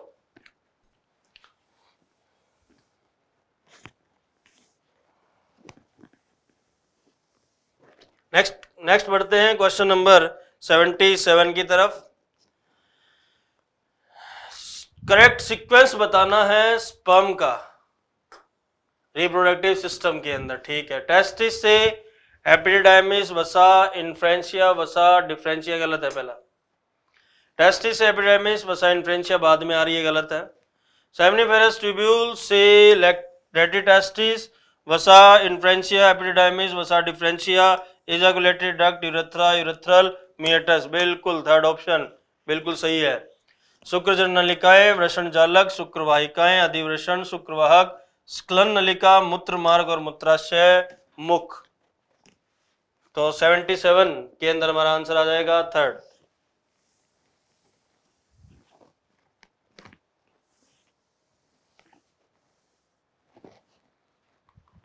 seventy eight first meiotic division occur during the oogenesis in पहला अर्धसूत्री विभाजन मियोटिक डिवीज़न किसमें होता है? 78 ओवेरी में,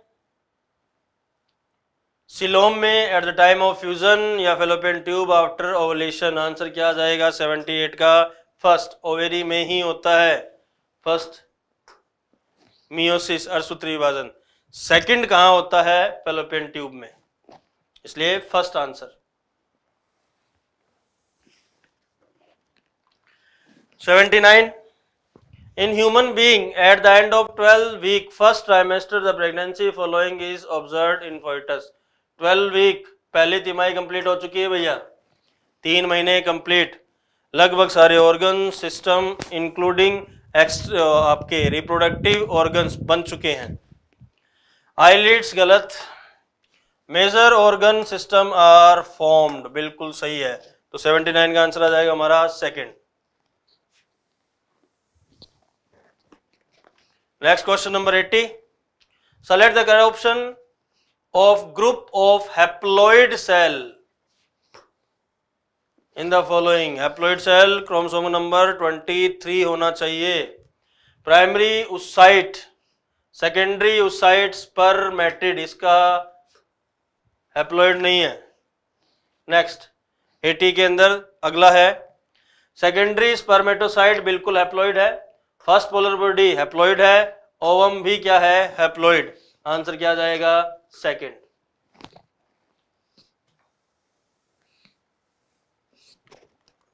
eighty one choose the correct sequence of various phase of a typical menstrual cycle menstrual cycle की सही फ़ेज़ का डायरेक्शन हमें देना है। आर्तव चक्र की विभिन्न प्रावस्थाओं के बारे में बताना है। Menstrual phase follicular secretory ovulatory गलत ओलेट्री गलत मेंस्ट्रुअल सही फॉलिकुलर दूसरी ओवलेशन और फिर सिक्रेटरी ऑप्शन क्या जाएगा? थर्ड आर्त प्रावस्था पुटके प्रावस्था, अंडोत्सर्ग और स्त्रावी प्रावस्था। तो 81 का answer third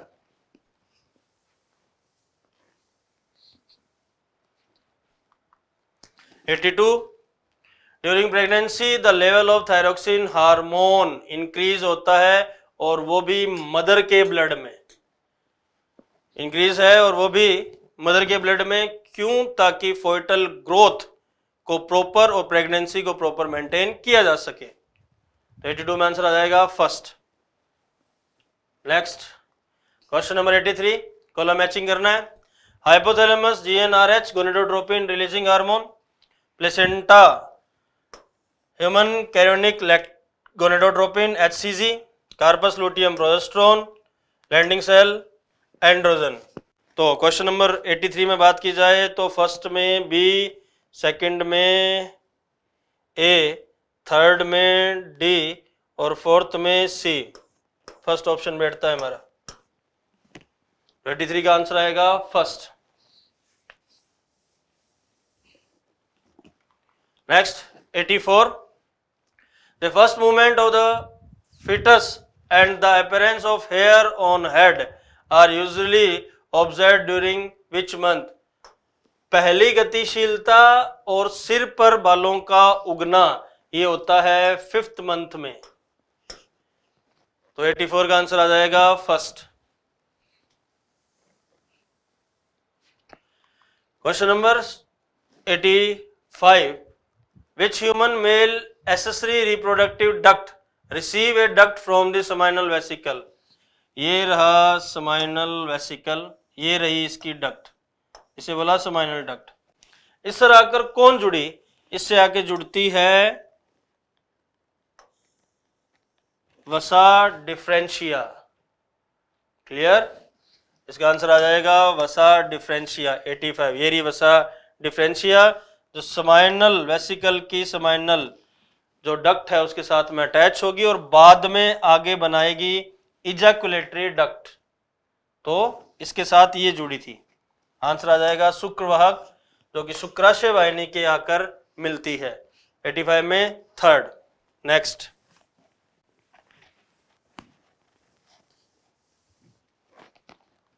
eighty six the primary oocyte complete second mitotic division in कहाँ पर पूरा करता है?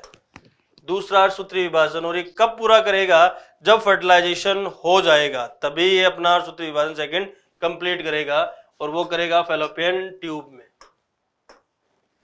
आंसर आ जाएगा सेकंड 86 का। Next question number 87 in human being ovum sperm contain ovum के पास में एक्स क्रोमोसोम होता है स्पर्म के पास एक्स भी हो सकता है और वाई भी हो सकता है। हमारा आंसर आ जाएगा थर्ड क्वेश्चन नंबर 87 में। नेक्स्ट बढ़ते हैं क्वेश्चन नंबर 88 की तरफ़। Correct sequence release of milk mammary gland से मिल्क रिलीज़ करने की जो सीक्वेंस है वो सही क्या है? Mammary tubules mammary duct lactiferous गलत। मेमोरी डक्ट मेमोरी ट्यूब्यूल्स गलत। Mammary tubules mammary duct mammary ampulla lactiferous duct बिल्कुल सही। आंसर आ जाएगा थर्ड स्तन नलिकाएँ, स्तन वाहिनी, स्तन तुम्बिका और दुग्ध वाहिनी। क्वेश्चन नंबर एटी एट का आंसर है third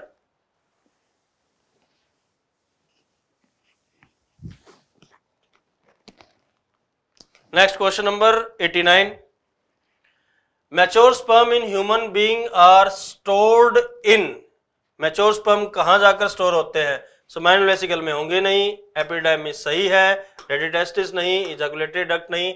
तो क्वेश्चन नंबर 89 का आंसर आ जाएगा हमारा सेकंड अधिवृषण में जाकर क्या होते हैं? स्टोर होते हैं।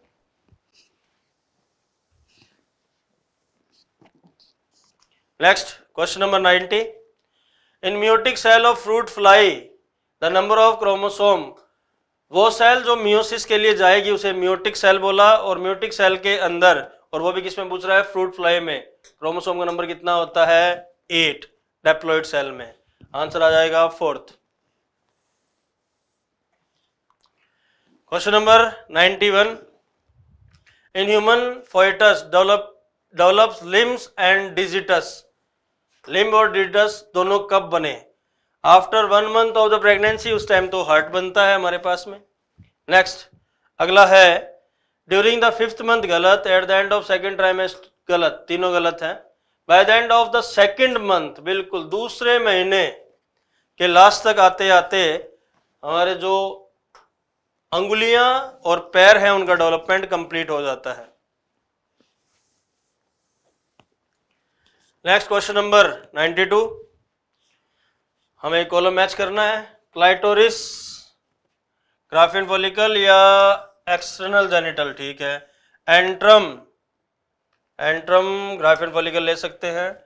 ट्रोफोब्लास्ट प्लास्टोसिस्ट एक्रोसोम, हम ले सकते हैं स्पर्म। तो क्वेश्चन नंबर 92 में, फ़र्स्ट में ए, सेकंड में सी, और थर्ड में बी, और फोर्थ में डी। हमारा थर्ड ऑप्शन जो है, वो क्लियर अप्रोप्रिएट है। तो इसमें आंसर आएगा थर्ड क्वेश्चन नंबर 92 में। Next question number 93 which of the following disposal disposable barrier used as contraceptive for preventing physical mating sperm and ova एक बार में ही प्रयोग करने वाला वो है सिर्फ़ और सिर्फ़ कॉन्डम्स क्योंकि डायफ्रॉम और सर्विकल कैप को रीयूज किया जा सकता है, लेकिन कॉन्डोम सिंगल यूज़ होता है डिस्पोजेबल होता है।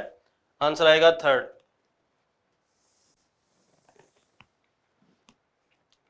ninety four in vasectomy small part of which male vasa deferentia का एक पार्ट काटा, शुक्रवाहक का, और उसे बाँध दिया। तो 94 में आंसर आएगा हमारा third next question number 95 choose the correct option for the MTP medical terminating pregnancy MTP are generally advise during first trimester बिल्कुल सही है। MTP are used as a contraceptive method contraceptive method के use use as such हम लोग करते नहीं है। गलत है। एमटीपी ऑलवेज सर्जिकल ज़रूरी नहीं है कि हमेशा ही सर्जिकल हो। ये पॉसिबल मतलब कंपलसरी नहीं है ये।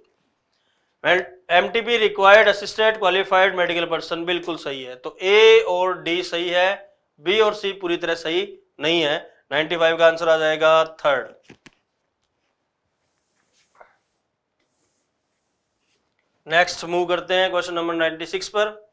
According to medical termination of the pregnancy MTP 2017 a pregnancy of 16 week may be terminated, must be opinion of बहुत अच्छा क्वेश्चन है ये। बिल्कुल एनसीईआरटी बेस्ड e ये मैं उन बच्चों के लिए कहना चाहूँगा, जो बच्चे सिर्फ़ एनसीईआरटी e के जो मेन पेज पर लिखा होता है वही पढ़ रहे हैं।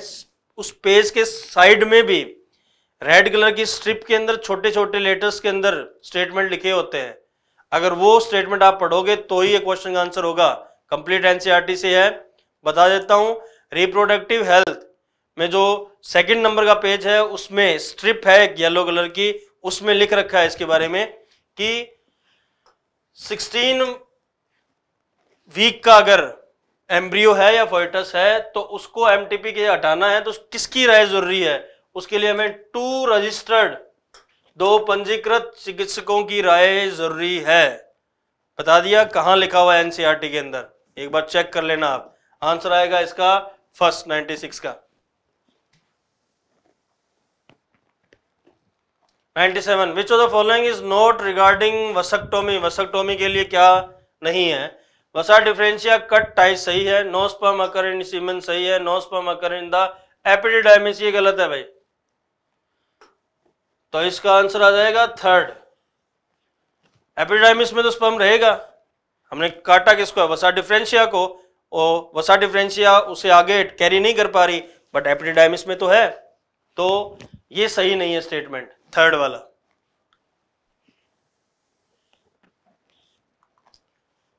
In vitro fertilisation embryo transfer up to eight blastomere आठ ब्लास्टोमियर तक का फेलोपियन ट्यूब 98 में आंसर आ जाएगा। Third next 99 test tube baby के लिए रेफर किया गया है। In vitro fertilization embryo transfer ठीक है। A method of tissue culture गलत। Baby born in test tube गलत।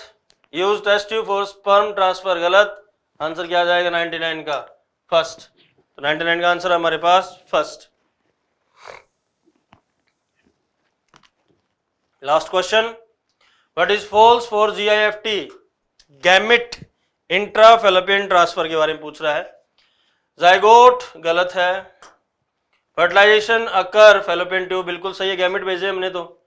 Sperm ovum transfer, inter tube, बिल्कुल सही है। लेट एम्ब्रियो ट्रांसफ़र, एम्ब्रियो नहीं, एम्ब्रियो तो वहाँ बनाएँगे हम, फेलोपियन ट्यूब में। तो बी और सी जो है, वो बिल्कुल सही है। तो क्वेश्चन नंबर जो आपका गलत पूछा है तो गलत में ए और डी क्या हो जाएगा? गलत। आंसर क्या आएगा? थर्ड फ़र्स्ट स्टेटमेंट गलत है और फोर्थ स्टेटमेंट गलत है। आंसर है ए और डी थर्ड सो तो ये हमारे पेपर का सॉल्यूशन था human reproduction and reproductive health I hope कि आप लोगों को समझ में आया होगा। तो बेस्ट ऑफ़ लक आपके बचे हुए जितने भी एग्ज़ाम हैं बायोकैम डीटीएस के या उससे नेक्स्ट आने वाले नीट के एग्ज़ाम के लिए। थैंक यू जय सीएलसी मैं Naveen Joshi team chemistry biochem D T S exam solve कर रहे हैं। और exam test number sixteen twenty five में से सिक्सटीन पेपर अपन सोल्व करने जा रहे हैं। तो वन बाई वन अपन क्वेश्चन एक एक सोल्व करते हैं। चलो तो फ़र्स्ट क्वेश्चन है, अपन पढ़ते हैं इसको, समझते हैं पहले। The magnetic moment of transition metal कोई ट्रांजिशन मेटल है?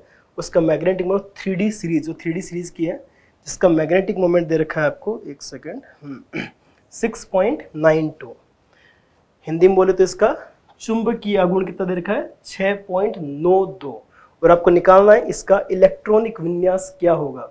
देखो, अपने पास जब भी मैग्नेटिक मोमेंट होता है, मैग्नेटिक मोमेंट दे रखा होता है तो उसकी सहायता से, चुंबकीय आघूर्ण की सहायता से हम अयुग्मित इलेक्ट्रॉन अनपेड इलेक्ट्रॉन्स कैलकुलेट कर सकते हैं। तो सिमिलरली, यहाँ पर जो मैग्नेटिक मोमेंट दे रखा है, और मैग्नेटिक मोमेंट का फॉर्मूला क्या होता है? रूट में n into n plus two Bohr magneton. ये मैग्नेटिक मोमेंट का फॉर्मूला होता है। और इसकी वैल्यू कितनी दे रखी है? सिक्स पॉइंट नाइन टू लेकिन इस टाइप का जब भी क्वेश्चन करें, इसमें एक सिंपल सी ट्रिक है, वो काम मिले तो ज़्यादा अच्छा है, क्योंकि यदि आप ये, जहाँ ये जो एन है, ये अनपेड इलेक्ट्रॉन तो आप अनपेड इलेक्ट्रॉन पहले कैलकुलेट करोगे, फिर इलेक्ट्रॉनिक कॉन्फ़िगरेशन पे जाओगे तो इसमें क्वाड्रिक बनेगी। इस द्विघात समीकरण को हल करने से अच्छा है, इस ट्रिक को काम मिले एक ट्रिक सिखाई जाती है क्लास में। ट्रिक क्या है? जब अनपेड इलेक्ट्रॉन अयुग्मित इलेक्ट्रॉन अनपेड इलेक्ट्रॉन एक है तो इसका जो मैग्नेटिक मोमेंट आता है, जो मैग्नेटिक मोमेंट चुंबकीय आघूर्ण वन पॉइंट समथिंग आएगा। एक ट्रिक है। इससे काम बहुत आसानी से हो जाता है। इसका मैग्नेटिक मोमेंट वन पॉइंट जो भी वैल्यू आ गया यदि अनपेड इलेक्ट्रॉन दो है तो इसका magnetic moment two point something value आएगी। यदि magnetic moment sorry unpaired electron three है, तीन अयुग्मित इलेक्ट्रॉन है तो इसका magnetic moment three point something आएगा। तो इस क्वेश्चन से आगे चलते रहेंगे तो समझ में आ ही गया होगा आपको। यदि अपन बात करें इसमें सिक्स पॉइंट समथिंग जो भी वैल्यू दे रखी है तो इससे अपने को आइडिया लगता है कि इसमें छह अनपेड इलेक्ट्रॉन है, छह अयुग्मित इलेक्ट्रॉन है। तो अपने को एन की वैल्यू इसको बिना सोल्व किए पता कर सकते हैं, इस अपने को इस इक्वेशन को सोल्व नहीं करना, इस इक्वेशन को बिना सोल्व किए पता कर सकते हैं कि भाई साहब, इसमें अनपेड इलेक्ट्रॉन कितने आएँगे? छः सिक्स होंगे इसके अंदर अनपेड इलेक्ट्रॉन अयुग्मित इलेक्ट्रॉन की संख्या है छः अब आप इस कॉन्फ़िगरेशन को चार ऑप्शन दे रखे हैं कि चेक करें कि इसमें अयुग्मित इलेक्ट्रॉनों की संख्या छः आ रही है। तो पहला है three D four. Three D four में डी के अंदर चार इलेक्ट्रॉन है। तो डी के अंदर जब भी चार इलेक्ट्रॉन होते हैं, एक इलेक्ट्रॉन, दूसरा इलेक्ट्रॉन, तीसरा, चौथा, डी के अंदर चार और फोर एस टू एस के अंदर दो इलेक्ट्रॉन। आप इसमें देखो टोटल अयुग्मित इलेक्ट्रॉन, जो अनपेड इलेक्ट्रॉन हो कितने हुए हैं टोटल चार ही हो पाए तो अनपेड इलेक्ट्रॉन चार तो अपना ये आंसर नहीं होगा। दूसरे ऑप्शन में देखते हैं। इसमें है थ्री डी फाइव। तो डी फाइव, एक, दो, तीन चार और पाँच। पाँच तो डी में अनपेड है और एक इलेक्ट्रॉन एस के अंदर अनपेड है। अब टोटल अनपेड इलेक्ट्रॉन पाँच डी के रहे, एक एस का रहा तो टोटल कितने हो गए? छः अनपेड इलेक्ट्रॉन और हमें पता है कि मैग्नेटिक मोमेंट छः पॉइंट समथिंग है। इसका मतलब अनपेड इलेक्ट्रॉन छः आने चाहिए और इसके अंदर छः अनपेड इलेक्ट्रॉन आ रहे हैं तो अपना आंसर जाता है सेकेंड तो उम्मीद करता हूँ आपको समझ आएगा पर इसी ट्रिक नहीं है। अच्छी है, आपको पता है, बहुत अच्छी बात है अदरवाइज़ इसको आप मेंशन करें, आप ध्यान में रखें। इंपॉर्टेंट ट्रिक है ये बेटा। चलो। नेक्स्ट चलते हैं सेकंड क्वेश्चन की तरफ़। सेकंड क्वेश्चन भी सिंपल सा है मैग्नेटिक मोमेंट से ही रिलेटेड है। तो क्वेश्चन क्या है? Arrange the following ions in order of their magnetic moment ये जो आयंस है, इनको व्यवस्थित करना है चुंबकीय आघूर्ण के आधार पर। जो आयन है, उनके चुंबकीय आघूर्ण। फिर से मैं बोलता हूँ, चुंबकीय आघूर्ण का अपन ने एक फॉर्मूला सीखा है, अभी जस्ट चर्चा किया हाँ। चुंबकीय आघूर्ण, एक सेकंड ये हो गया पेन सेलेक्ट चलो तो चुंबकीय आघूर्ण मैग्नेटिक मोमेंट का फॉर्मूला क्या है? रूट में N into N plus two अब सिंपल सी बात है कि जिस एलिमेंट जिस आयन का अनपेड इलेक्ट्रॉन या जिस एलिमेंट या जिस आयन में अनपेड इलेक्ट्रॉन ज़्यादा होंगे, उस एलिमेंट या उस आयन का मैग्नेटिक मोमेंट भी ज़्यादा आएगा। जिस तत्व या जिस आयन के अयुग्मित इलेक्ट्रॉनों की संख्या ज़्यादा होगी, उसमें चुंबकीय आघूर्ण भी ज़्यादा ही आएगा। तो अपने को बस इतना सा चेक करना है कि इसमें एन की वैल्यू ज़्यादा है। और जिसमें की वैल्यू ज़्यादा, उसका चुंबकीय आघूर्ण भी ज़्यादा। तो इसमें अयुग्मित इलेक्ट्रॉनों की संख्या है, उसके क्रम में यदि व्यवस्थित कर दें तो वही चुंबकीय आघूर्ण की व्यवस्था होगी। ठीक है डियर चलो तो वेनेडियम है। आप वेनेडियम का कॉन्फ़िगरेशन लिखेंगे, फिर प्लस फोर मतलब चार इलेक्ट्रॉन निकालने के बाद चर्चा करेंगे। तो अब सबको पता है कि वेनेडियम का कॉन्फ़िगरेशन क्या होता है? स्कैंडियम टाइटेनियम फिर वेनेडियम तो four S two three D हालाँकि पहले थ्री डी लिखना चाहिए, लेकिन कोई दिक्कत नहीं, जिस तरह से लिखते हैं कॉन्फ़िगरेशन एक्चुअली वैसे लिखे हैं। Four S two three D कितना हो जाएगा स्कैंडियम फिर टाइटेनियम फिर वेनेडियम थ्री डी हो जाएगा थ्री और वेनेडियम प्लस फोर है, चार इलेक्ट्रॉन रिलीज़ करते हैं। इलेक्ट्रॉन हमेशा पहले वैलेंस सेल से रिलीज़ होता है। इलेक्ट्रॉन हमेशा कहाँ से त्यागा जाता है? जो अंतिम कोष होता है संयोजी कोष होता है। तो इसलिए मैं तुम्हें बोल रहा था कि इसको अपन फोर एस पहले लिखने के बजाय पहले थ्री डी लिखते हैं, क्योंकि अंतिम कोष, जो संयोजी कोष है, वो फोर एस है फोर कोष है। तो इससे फोर्थ सेल से अपन इलेक्ट्रॉन रिमूव करते हैं, अपने टोटल चार इलेक्ट्रॉन रिमूव करने हैं। तो दो एस के इलेक्ट्रॉन जाएँगे, दो एस के इलेक्ट्रॉन गए, और दो जाएँगे फिर डी की बारी है कि डी से और दो चले जाएँगे तो बचेगा कॉन्फ़िगरेशन में केवल। मैं सिर्फ़ लास्ट वाला कॉन्फ़िगरेशन लिख रहा हूँ, हालाँकि इससे पहले आर्गन रहा होगा। एग्जैक्ट कॉन्फ़िगरेशन तो ऐसे लिखना चाहिए argon three D three and four S two इस तरह से लिखा और ज़्यादा सही लगेगा।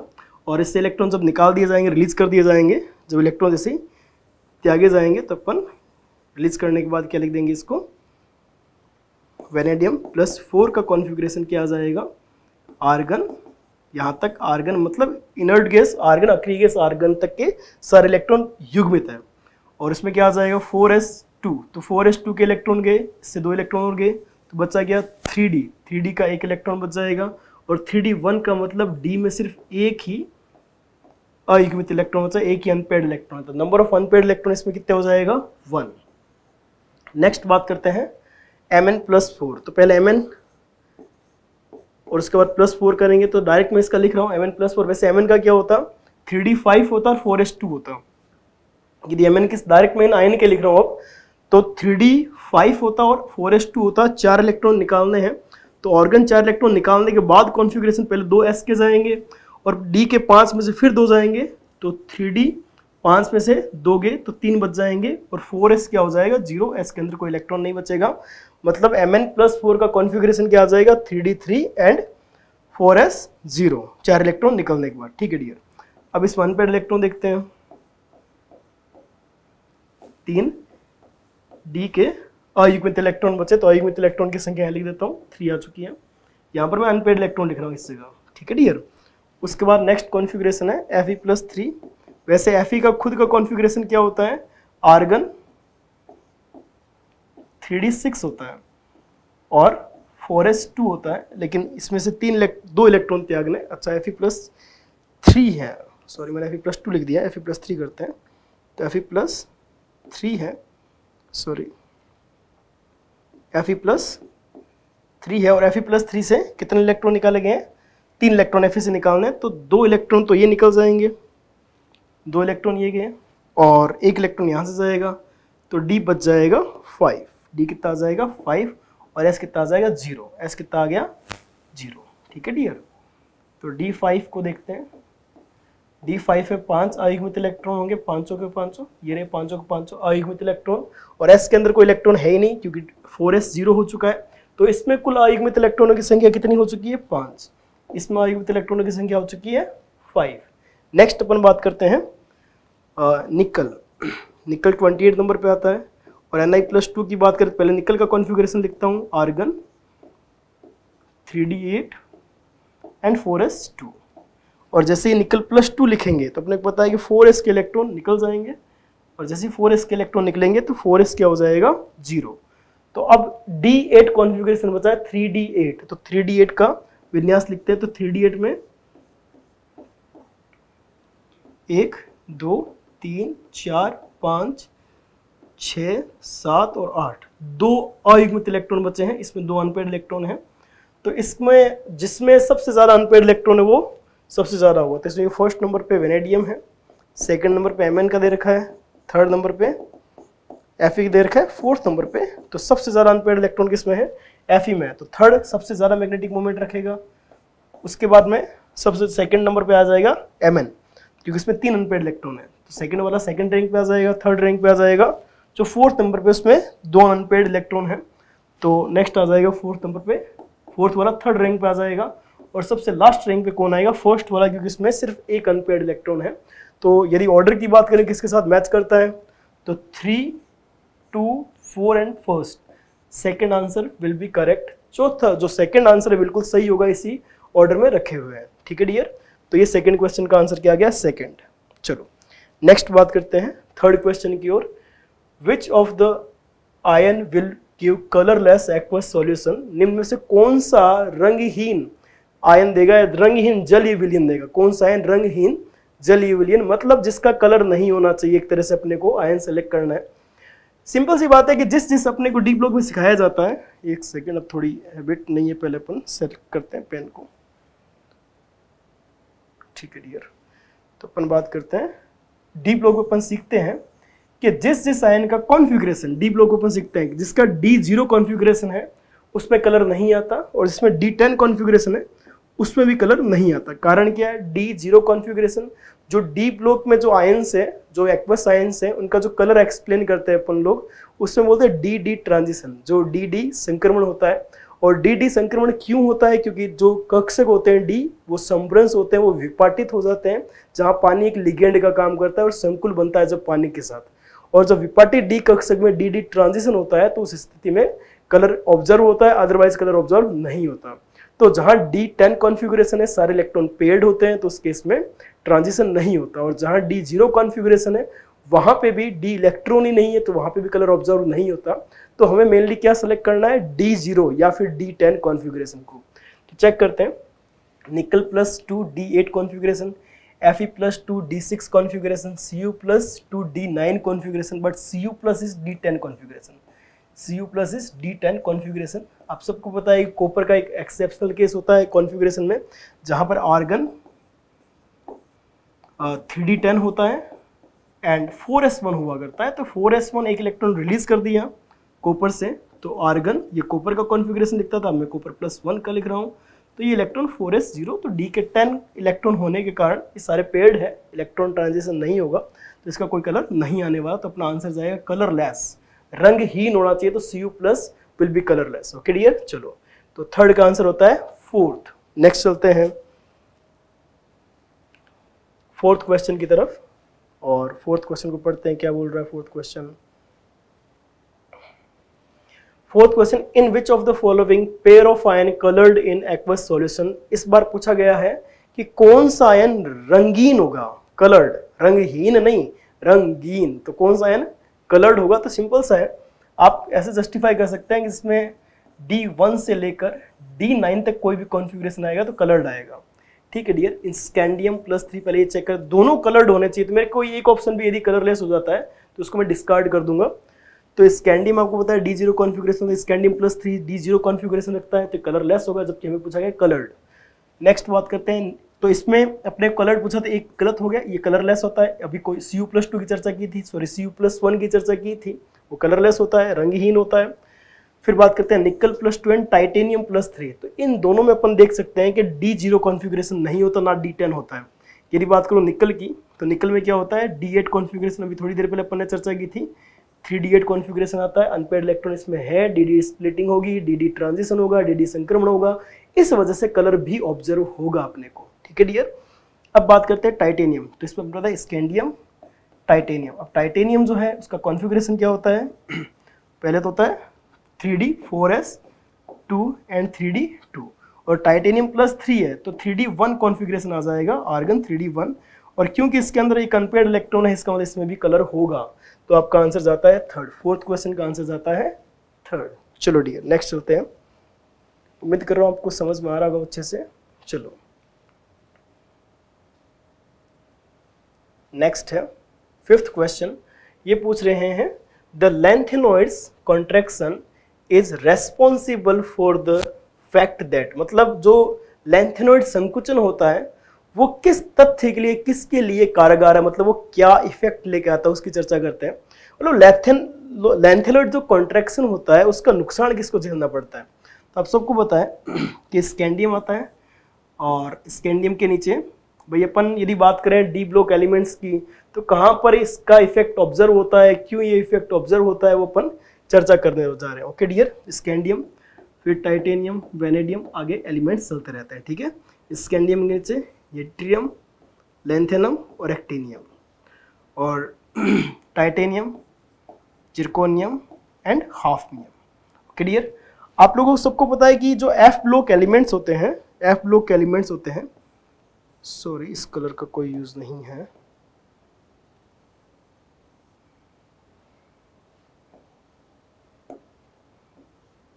जो लेंथेनम होता है, आप सबको होता है कि जो डी ब्लॉक के एलिमेंट होते हैं वो एलिमेंट अपनी पोजिशन रखते हैं कुछ इस तरह से। डी ब्लॉक एलिमेंट लेंथेनोइड के पीछे हैं। तभी लेंथेनम के पीछे तभी इनको लेंथेनोइड्स कहा गया है।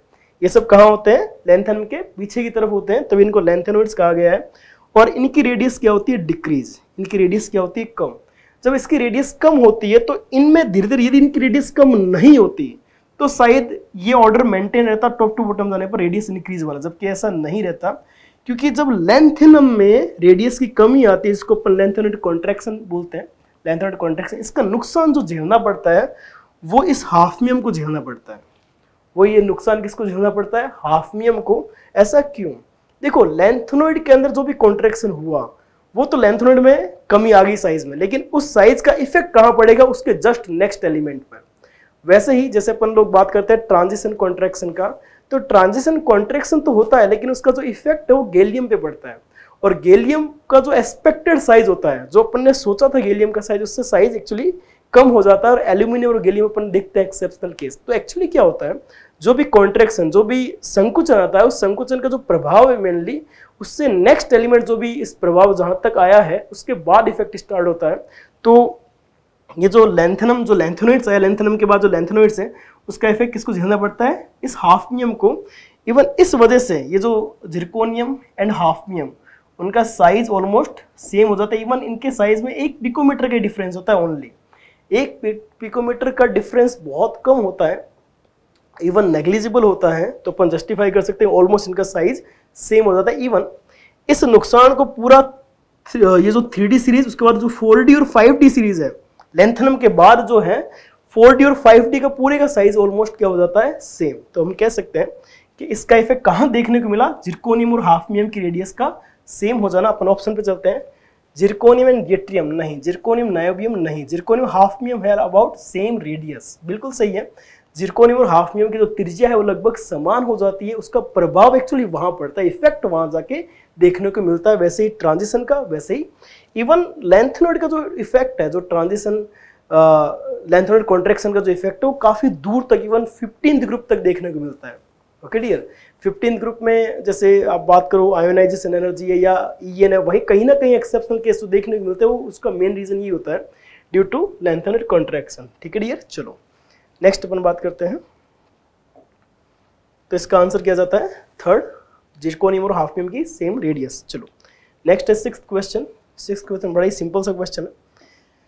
क्वेश्चन में बोला गया है कि कौन से oxide will not give metal on heating मतलब जब इनको हीट किया जाता है तो मेटल नहीं मिलनी चाहिए। देखो मेटल क्यों मिलती है हीट करने पर? पहले वो चर्चा करते हैं कि जब भी आप किसी को हीट कर रहे हो, किसी मेटल ऑक्साइड को जनरली मेटल ऑक्साइड बहुत स्टेबल होते हैं ऑक्सीजन के साथ, क्योंकि मेटल इलेक्ट्रॉन रिलीज़ करना चाहता है ऑक्सीजन इलेक्ट्रॉन को लेना चाहता है। बढ़िया स्ट्रॉन्ग बॉन्ड बनता है आयनिक टाइप का इन जनरली तो इस बॉन्ड के कारण बहुत मतलब स्ट्रॉन्ग जब सॉलिड बन जाता है तो वो ऑक्सीजन रिलीज़ नहीं करते हीट करने डिकम्पोज नहीं होता। लेकिन जो ऑक्साइड्स बहुत ज़्यादा स्टेबल नहीं होते, कुछ मेटल्स हैं, उनके ऑक्साइड्स बहुत ज़्यादा स्टेबल नहीं होते हैं तो इस वजह से उनको हीट करने पर उनकी ऑक्सीजन ऑक्सीजन रिलीज़ हो जाती है। जिससे उनमें एग्ज़ाम्पल क्या दिया जाता है, एक तो सिल्वर है उसका, एक एच जी इसका। इनका इन जनरली ऑक्साइड्स को हीट करते हैं तो ऑक्सीजन इजीली रिलीज़ हो जाती है तो जैसे इसको एचजीओ को हीट करोगे, गर्म करोगे तो H G plus half O two बन जाएगा। इसको हीट करोगे तो two A G plus half O two बन जाएगा। और जब इसको हीट करोगे तो two H G plus half O two बन जाएगा, क्योंकि इनके ऑक्साइड्स बहुत ज़्यादा स्टेबल नहीं होते। बट जिंक हीट करने पर ऑक्सीजन रिलीज़ नहीं करेगा और एलिमेंटल या मेटल जिंक नहीं देगा। तो आंसर क्या जाएगा इसमें सेकंड सिक्स का आंसर जाता है। सेकंड सिंपल सा कंसेप्ट है ये, जो अपन लगाया किस ऑक्साइड को गर्म करने पर धातु नहीं मिलेगी तो जो ऑक्साइड स्टेबल है, जो या ऐसा बोलते जो ऑक्साइड अनस्टेबल है, वो इजीली ऑक्सीजन दे देगा, इसका जो स्टेबल वो नहीं देगा। वो क्लियर चलो नेक्स्ट चलते हैं। सेवंथ क्वेश्चन पे। Seventh question the most common oxidation state of lanthanoid is lanthanoid की कौन सी सबसे सामान्य ऑक्सीकरण अवस्था होती है? तो अपन एफ़ लोग बहुत अच्छे से, बड़ा ही सिंपल सा एनसीईआरटी का क्वेश्चन है। कि लेंथेनॉइड की प्लस तीन ऑक्सीकरण अवस्था जो होती है, वो बड़ी कॉमन ऑक्सीडेशन स्टेट होती है। हाँ इसमें कंसेप्ट लगता है, यदि प्लस तीन में नहीं है तो क्या हो सकता है प्लस टू होगी या फिर प्लस फोर होगी? तो यदि वो प्लस टू में है तो इलेक्ट्रॉन रिलीज़ करना चाहते हैं। और यदि प्लस फोर में तो इलेक्ट्रॉन गेन करना चाहेंगे। मतलब यदि प्लस टू में तो इलेक्ट्रॉन त्यागना चाहेंगे, और प्लस फोर में तो इलेक्ट्रॉन ग्रहण करना चाहेंगे। इसका मतलब यदि वो प्लस टू में तो इलेक्ट्रॉन रिलीज़ करेंगे रिलीज़ करने की टेंडेंसी रहेगी मतलब रिड्यूसिंग एजेंट होंगे अपचायक होंगे। और यदि वो प्लस फोर में तो इलेक्ट्रॉन लेना चाहेंगे ताकि प्लस तीन में आ जाए अपनी स्टेबल ऑक्सीडेशन स्टेट में तो इसका मतलब ऑक्सीडाइजिंग एजेंट ऑक्सीकारक का काम करेंगे। तो एक एक्स्ट्रा इन्फॉर्मेशन दे दी कि यदि प्लस टू में है तो एक्ट एज रिड्यूसिंग एजेंट और यदि प्लस फोर में है तो वो ऑक्सीडाइजिंग एजेंट की तरह काम करेंगे ऑक्सीकारक की तरह कार्य करेंगे। ओके डियर चलो। तो इसमें सिंपल सा आएगा प्लस तीन oxidation state and common third आ जाएगा सेवंथ में। चलो dear next eighth question in dilute alkaline solution MnO4 minus changes to मतलब तनु क्षारी माध्यम मतलब वीक बोल सकते हो या दुर्बल क्षारी माध्यम बोल सकते हो उसमें। MnO4 माइनस किसमें चेंज हो जाता है? तो बड़ा सिंपल सा कंसेप्ट है जिसमें इनकी जो केमिकल प्रॉपर्टीज़ एनसीईआरटी में लिख रखी है, उसके अंदर ये बता रखा है बहुत अच्छे से कि जो M N O four minus होता है, वो तीन स्टेट में चेंज हो सकता है। जब ऑक्सीडाइजिंग एजेंट का काम करता है तो खुद रिड्यूस होगा। इवन ऑब्वियस सी बात है सिंपल सी बात है कि जब कोई ऑक्सीकारक है तो सामने वाले को ऑक्सीकृत करेगा, लेकिन खुद तो अपचयित होगा। तो जब खुद अपचयित होता है, इसके अपचयित रूप क्या क्या बनते हैं? एक बनता है एम एन प्लस टू बनता है डायरेक्ट एक बनता है M N O four minus two और एक बनता है एम एन ओ टू इसमें एम एन प्लस टू में है, इसमें एम एन प्लस सिक्स में, इसमें एम एन प्लस फोर में। लेकिन वो किसमें होता है वो चेक कर लेते हैं। ये होता है एसिडिक मीडियम में। ये किसमें होता है? Acidic medium strong acidic medium pH चार इससे कम होती है तो ये अपने को इफ़ेक्ट देखने को मिलता है। नेक्स्ट बात करते हैं M N O four minus two in general ये बेसिक मीडियम में देखने को ऑब्ज़र्व होता है, देखने को मिलता है।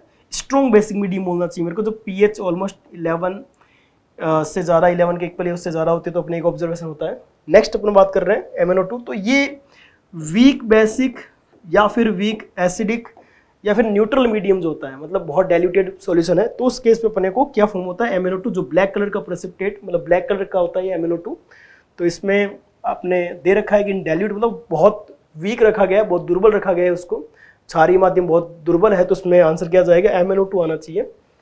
तो एट्थ क्वेश्चन में आंसर आ जाएगा एम यदि स्ट्रॉन्ग एसिडिक मीडियम दिया होता तो एम प्लस टू हो जाता, और यदि स्ट्रॉन्ग बेसिक दिया होता तो M N O four minus two लेकिन अभी वीक दे रखा है, तनु छारी दे रखा है, दुर्बल दे रखा है एक तरह से।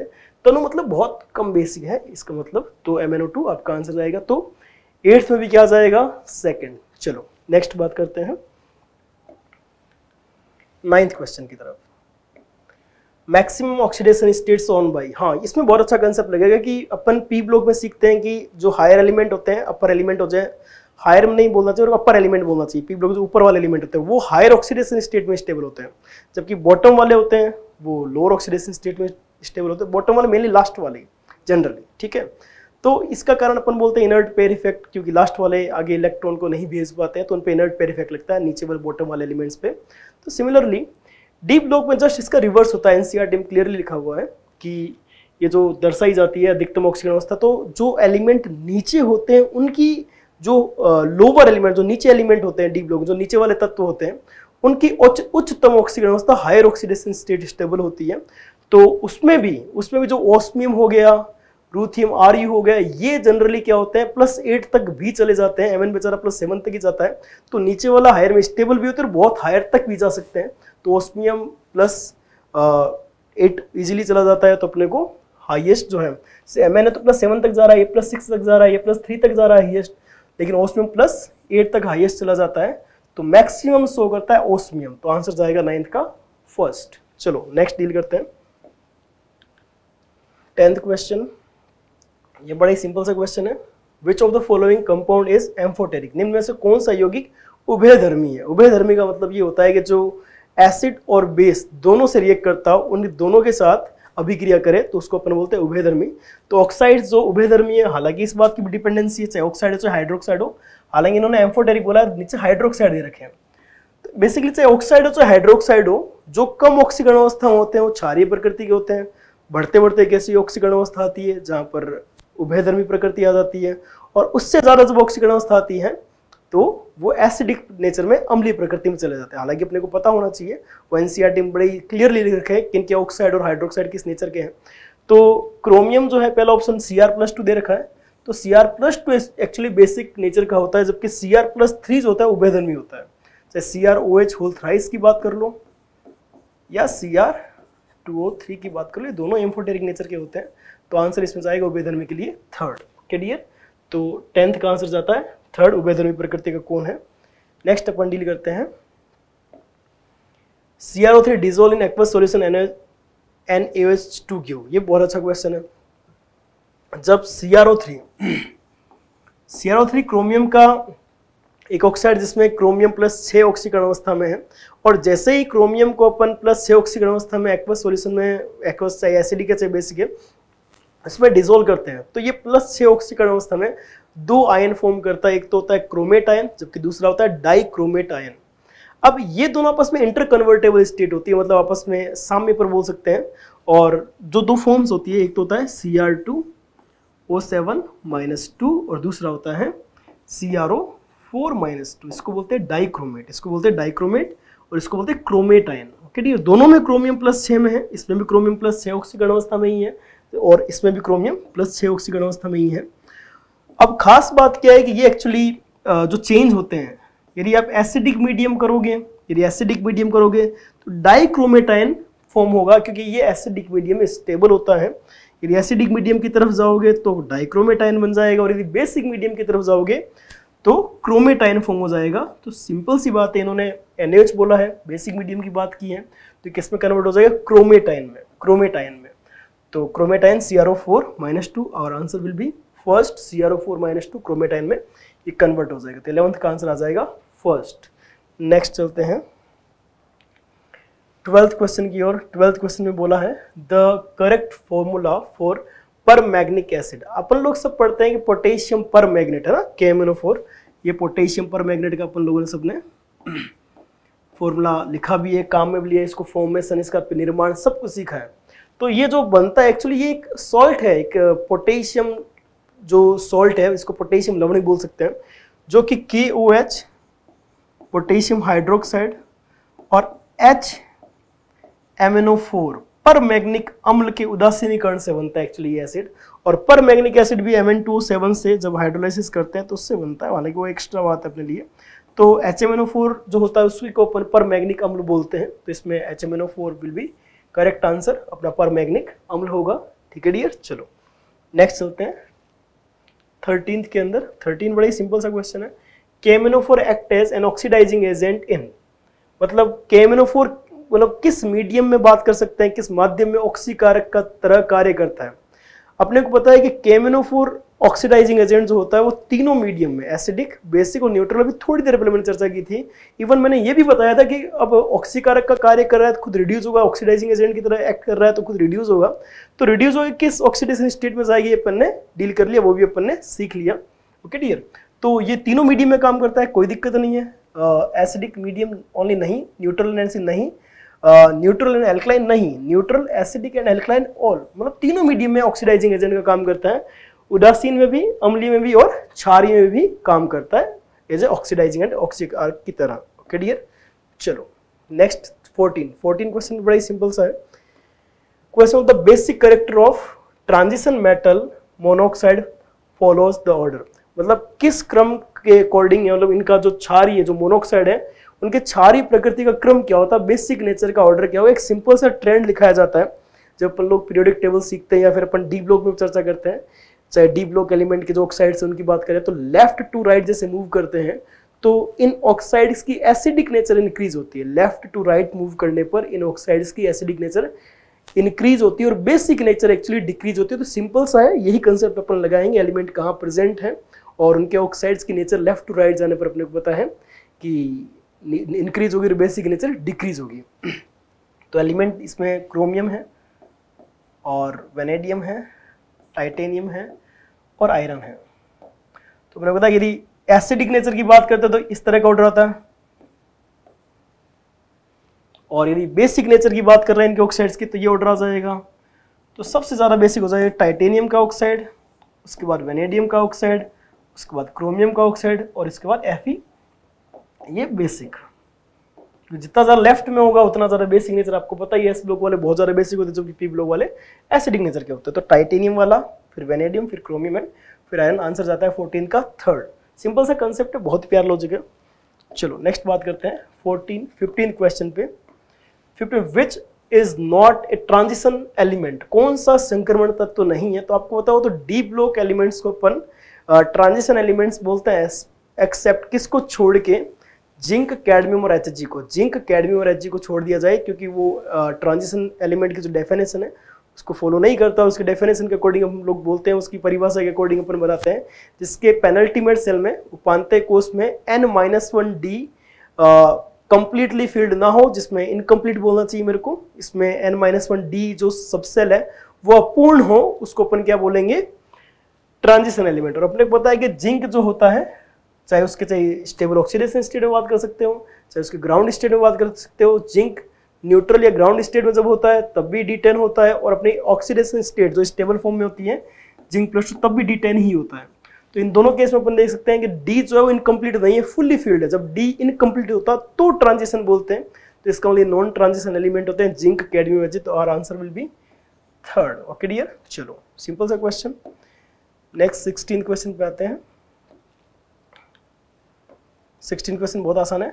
The product of oxidation of I minus with M N O four minus L in alkaline मतलब क्षारीय माध्यम में जब अपन आई माइनस को K M N O four से ऑक्सीडाइज uh, करेंगे तो क्या प्रोडक्ट बनेगा? बड़ा अच्छा क्वेश्चन है। इसमें बच्चे एक गलती भी करते हैं बात करते हैं क्या? एमिनो फोर माइनस जब भी आई माइनस के साथ रिएक्शन करता है उसको रिएक्ट करता है तो नो no डाउट खुद अपने को पता है एल्कलाइन मीडियम है। और खुद एम एन ओ टू या फिर M N O four minus two में जाएगा, वो डेल्यूट है, उस पर डिपेंड करता है। पर अपन मेन मुद्दा है आई माइनस किसमें जाएगा बेसिक मीडियम में। तो M N O four minus को ऑक्सीडाइज करता है और वो जाता है आई टू में। लेकिन क्योंकि बेसिक मीडियम होता है तो आई टू जो होता है, चाहे आई टू हो, चाहे बी आर टू हो, चाहे सी एल टू ये बेसिक मीडियम में डिसप्रपोर्शनेट हो जाते हैं, विषमानुपातित हो जाते हैं। तो इससे क्या बनता है बेसिक मीडियम में I minus and I O three minus अब मतलब अपना फाइनल प्रोडक्ट जो है वो आई ओ थ्री माइनस क्योंकि जिस रेशियो में बनता है तो ये वापस रिएक्टेंट के फॉर्म में आ जाता है और एज अ फाइनल प्रोडक्ट अपना क्या आ जाता है? आई ओ थ्री माइनस तो इसका मतलब जब भी आई माइनस को आप ऑक्सीडाइज करो यदि एसिडिक मीडियम होता तो ये डिस्प्रपोर्शनेशन शायद नहीं होता।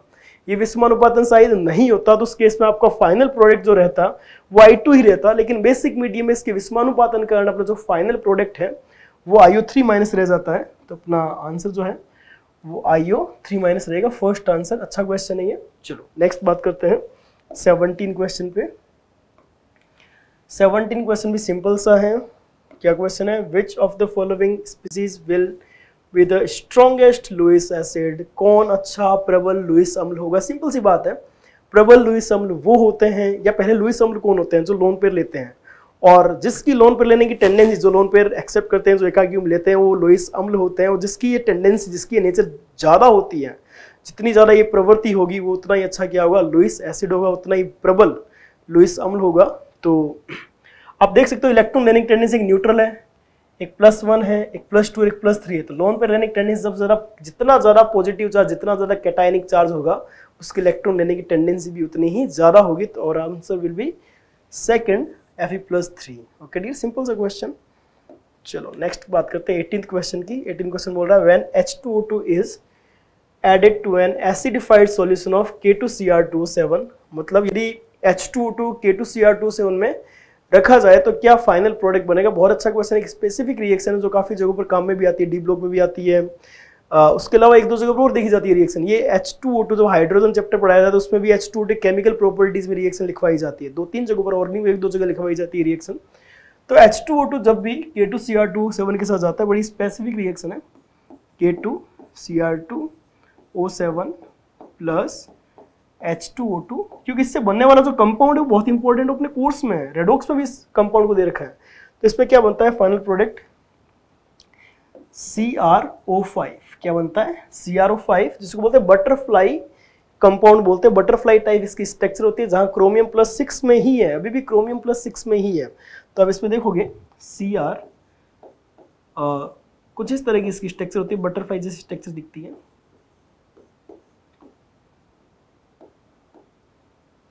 आँखें नहीं बन रही है बटरफ्लाई की? है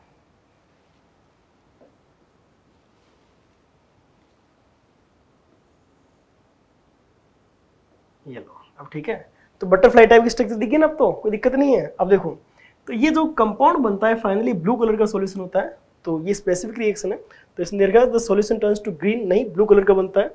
सोल्यूशन टर्न्स येलो नहीं ब्लू कलर का बनता है। ए डीप ब्लू कलर बिल्कुल बिल्कुल ब्लू वायलेट कलर का बनता है। और कंपाउंड देख लो सी ही है ये। बिल्कुल सही है बटरफ्लाई कंपाउंड बटरफ्लाई कंपाउंड अपना स्ट्रक्चर है, अपने कोर्स में एनसीआरटी में दे रखा है, सब कुछ इसके बारे में चर्चा है, कितने ऑक्सीजन परोक्सी है, कितने क्रोमियम की ऑक्सीडेशन स्टेट क्या है, और इसके बारे में क्वेश्चन बहुत बार आ भी चुका है ओके डियर चलो नेक्स्ट डील करते हैं एटीन क्वेश्चन तो इसमें आंसर अपना थर्ड जा रहा है ओके डियर चलो नेक्स्ट एटीन क्वेश्चन में चलते हैं। When MnO2 is fused with KOH and KClO3 a coloured compound is formed the product and its colour is मतलब जब भी MnO2 को पायरोलोसाइड बोलते हैं MnO2 को, उसको KOH और KClO3 की उपस्थिति में अभिकृत करवाते हैं संगलित करके अभिकृत करवाते हैं मोल्टन फ्यूज बोलते हैं इसको तो उस स्थिति में क्या उत्पाद बनेगा और क्या उसका रंग होगा?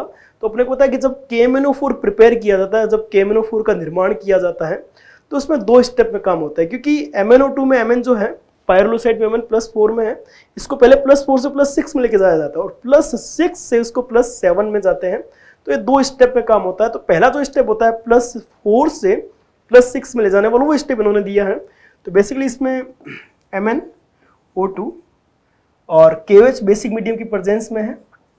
और वैसे भी मैंने अभी थोड़ी देर पहले बताया था बेसिक मीडियम में किसमें जाता है। ये बनता है K two M N O four बोल सकते हैं। और या फिर M N O four minus two बनता है मैग्नेट आयन एक होता है permanganate M N O four minus होता है, ये M N O four minus two है। तो इसमें मैग्नेट आयन बनता है जो कि ग्रीन कलर का होता है। तो our answer will be first अब इसको आगे आप ऑक्सीडाइज करते हो फॉर इलेक्ट्रोलाइटिक से कर लो, जैसा भी ऑक्सीडेशन करना चाहते हो, इससे वापस K two M N O four K M N O four में कन्वर्ट हो जाता है एसिडिक मीडियम में। चलो तो इसका आंसर फ़र्स्ट हो रहा है। नेक्स्ट अपन बात करते हैं twenty which of the following element belong to the actinoid series अब ये सिंपल सा है यदि आपको एफ़ लोग याद है तो बड़ा ही सिंपल से हो जाएगा। नहीं याद तो दिक्कत है। तो इसमें जो एलिमेंट है येट्रियम अपन देखते ही हैं येट्रियम डी ब्लॉक में है। टेल्टियम भी डी ब्लॉक में जस्ट येट्रियम के जस्ट बाद लेंथनम के जस्ट बाद तीन परसेंट बाद ही होता है। यूरेनियम एफ़ ब्लॉक एलिमेंट है और यूरेनियम खुद एक्टिनोइड्स में होता है। और लेंथेनम भी डी ब्लॉक एलिमेंट है फ़र्स्ट उसके बाद में लेंथेनोइड्स आते हैं सीरियम वगैरह तो इसमें जो एफ़ ब्लॉक का एलिमेंट ही एक दे रखा है तो sorry sorry sorry F block का एलिमेंट एक ही दे रखा है दैट इज़ यूरेनियम तो our answer will be uranium third answer okay dear तो बीस में आंसर जाएगा, तीसरा नेक्स्ट अपन बात करते हैं इक्कीसवें क्वेश्चन में one of the which one of the constitution of German हाँ मतलब जर्मन सिल्वर का एक संगठक है। कौन सा जर्मन सिल्वर का संगठक है? मतलब उस कौन सा कंपोनेंट है? वैसे इसका नाम जर्मन सिल्वर क्यों रखा गया? ये प्रीवियस ईयर के क्वेश्चन में एक दो बार पूछा हुआ है नीट में। नीट पे तो ए में। एक्चुअली जर्मन सिल्वर के अंदर सिल्वर नहीं होता। फिर भी इसको अपन सिल्वर नाम क्यों देते हैं? जर्मन सिल्वर क्यों बोलते हैं? एक्चुअली ये ऐसा मेट, जो अपने बोल अलोई मिश्र धातु है, जो एकदम सिल्वर चांदी जैसे दिखता है। एग्जैक्ट चांदी जैसा दिख रहा होता है ये, इसके बर्तन वगैरह बनते हैं और इसमें प्रेजेंट क्या होता है? मेनली कॉन्स्टिट्यूएंट किसका? मूलभूत कौन होता है इसमें? निकल होता है कॉपर होता है और जिंक होता है। मेनली ये तीनों प्रेजेंट होते हैं। इस वजह से, क्योंकि सिल्वर की तरह दिखता है, इसका जर्मन सिल्वर नाम दे दिया गया। और क्योंकि इसमें जो एलिमेंट प्रेजेंट है, निकल है कॉपर है जिंक तो उसके अकॉर्डिंग अपना आंसर जाएगा निकल कॉपर जिंक में जो भी ऑप्शन मिलेगा तो अपने को सेकंड कॉपर मिल गया, ठीक है? तो एजी खुद नहीं होते कंफ्यूज करने के लिए दिया गया एजी है ना? तो नेक्स्ट बात करते हैं। इक्कीसवें में क्या आ गया? सेकंड नेक्स्ट डील करते हैं डियर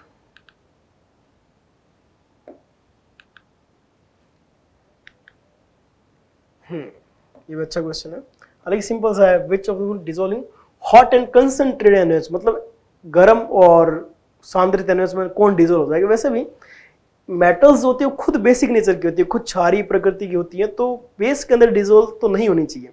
लेकिन जो मेटल एम्फोटेरिक नेचर की होती है, जो उभयधर्मी प्रकृति की होती है, वो एसिड और बेस दोनों से रिएक्शन करेगी। मतलब बेस के अंदर केवल वही मेटल डिजोल्व होना चाहेंगे जो खुद एम्फोटेरिक नेचर की होती है। और एम्फोटेरिक मेटल इसमें शायद एक ही दे रखी है जिंक तो आंसर विल बी जेड और जिंक एल्यूमिनेट बनता है इसमें। सॉरी सोडियम जिंकेट इसमें बनता है। ओके डियर तो answer will be second next अपन बात सिंपल से question NCR related 23 question. Next take how many unpaired electrons are present in Ni plus 2 Ni plus 2 अपन ने देखा ही था कि 3d8 कॉन्फ़िगरेशन होता है सॉरी Ni plus 2 में 3d8 कॉन्फ़िगरेशन तो argon 4s0 and 3d8 4s में कोई इलेक्ट्रॉन प्रेजेंट नहीं होता तो इसमें इलेक्ट्रॉनिक कॉन्फ़िगरेशन किस तरह से आ जाएगा बेटा? एक, दो, तीन, चार, पाँच छः सात और आठ। दो अनपेड इलेक्ट्रॉन बच जाएँगे। तो correct answer will be second next आते हैं twenty four electronic configuration transition element in plus three oxidation state plus three oxidation state के अंदर इसका कॉन्फ़िगरेशन ये है ना? प्लस थ्री ऑक्सीडेशन स्टेट में इसका कॉन्फ़िगरेशन ये है। What is the atomic number इसका एटॉमिक नंबर क्या होगा? एक बात सोचो, यदि प्लस थ्री में नहीं होता तो क्या इसका ये देखना आपको? या फिर ऐसे देख लो अभी इसके अंदर कितने इलेक्ट्रॉन हैं? ये चेक कर लेते हैं। ये भी आसान तरीका है। अट्ठारह ऑर्गन तक के हो गए। अठारह फिर पाँच। और ऐड कर दो ट्वेंटी थ्री नंबर पे आ गया। और यदि वो तीन इलेक्ट्रॉन नहीं होते बाई चांस नहीं है तो ट्वेंटी थ्री आ रहा है इसका एटॉमिक नंबर या ट्वेंटी थ्री एटॉमिक नंबर नहीं बोलना चाहिए। ट्वेंटी थ्री इलेक्ट्रॉन आ रहे हैं इसके अंदर। और वो इलेक्ट्रॉन यदि वापस इसको दे दिया जाए, जो रिलीज़ कर रखे हैं तो ट्वेंटी सिक्स नंबर पे आ जाएगा। तो ये ट्वेंटी सिक्स वापस इसको चाहो तो क्रॉस चेक कर सकते हो सिंपली जैसे एक्स एलिमेंट जो भी है, वो प्लस थ्री में जाएगा। वो आयरन ही होगा ऑब्वियस बात है।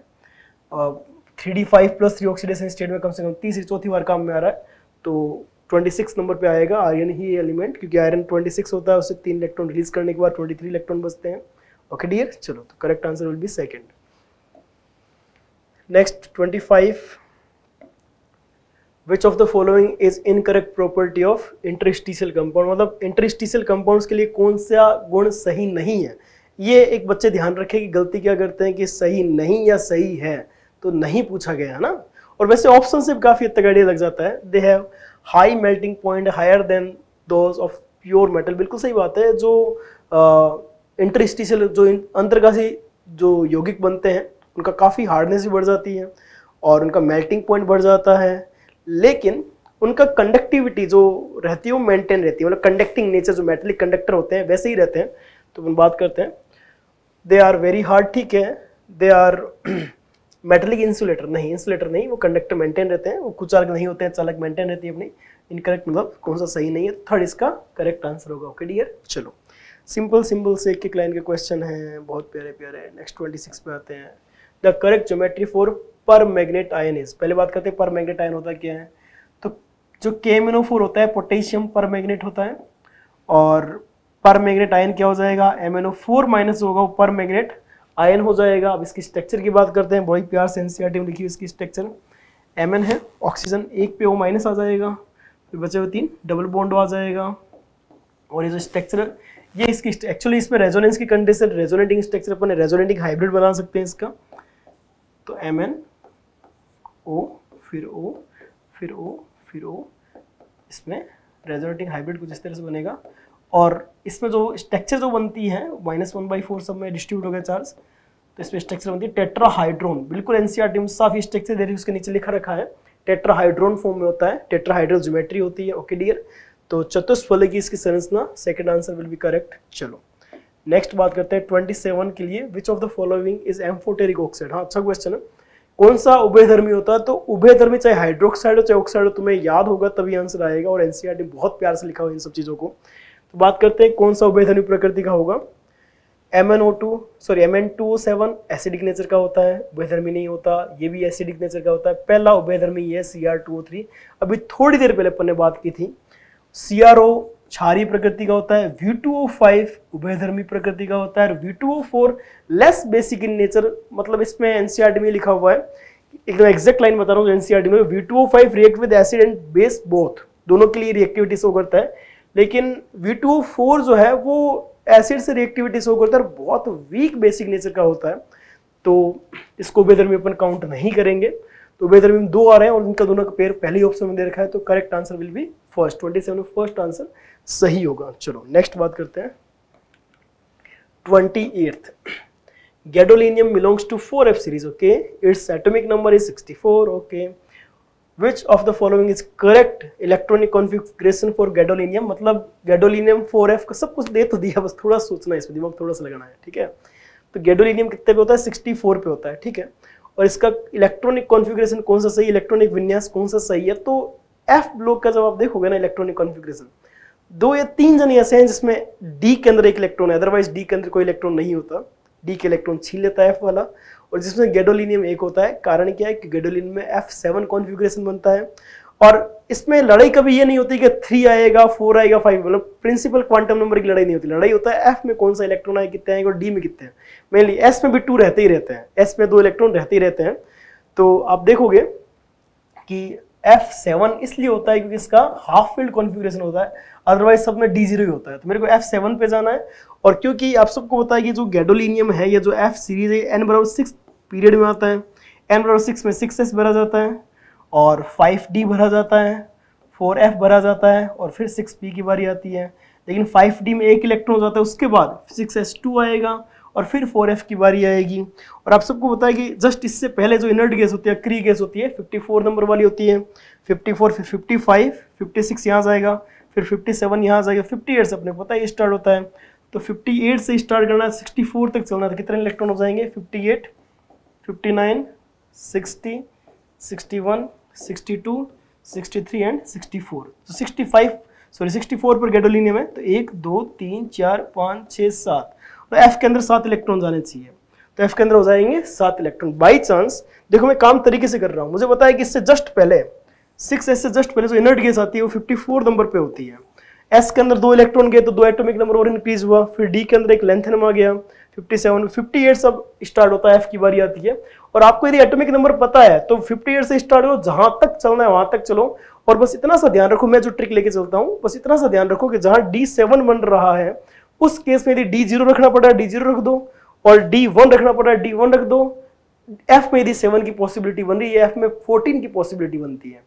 और आप सब लोग देखोगे कि गैडोलिनियम जीडी के अंदर आप देखने को मिलता है, जिसमें एफ़ सेवन वाला कॉन्फ़िगरेशन बनता है, या फिर लास्ट में एक जगह बनता है फोर्टीन वाला कॉन्फ़िगरेशन मतलब मैं इतना सा कहना चाहता हूँ डी वन सिर्फ़ तीन ही जगह मिलता है और कहीं नहीं मिलता लेंथ यूनिट्स के अंदर तो।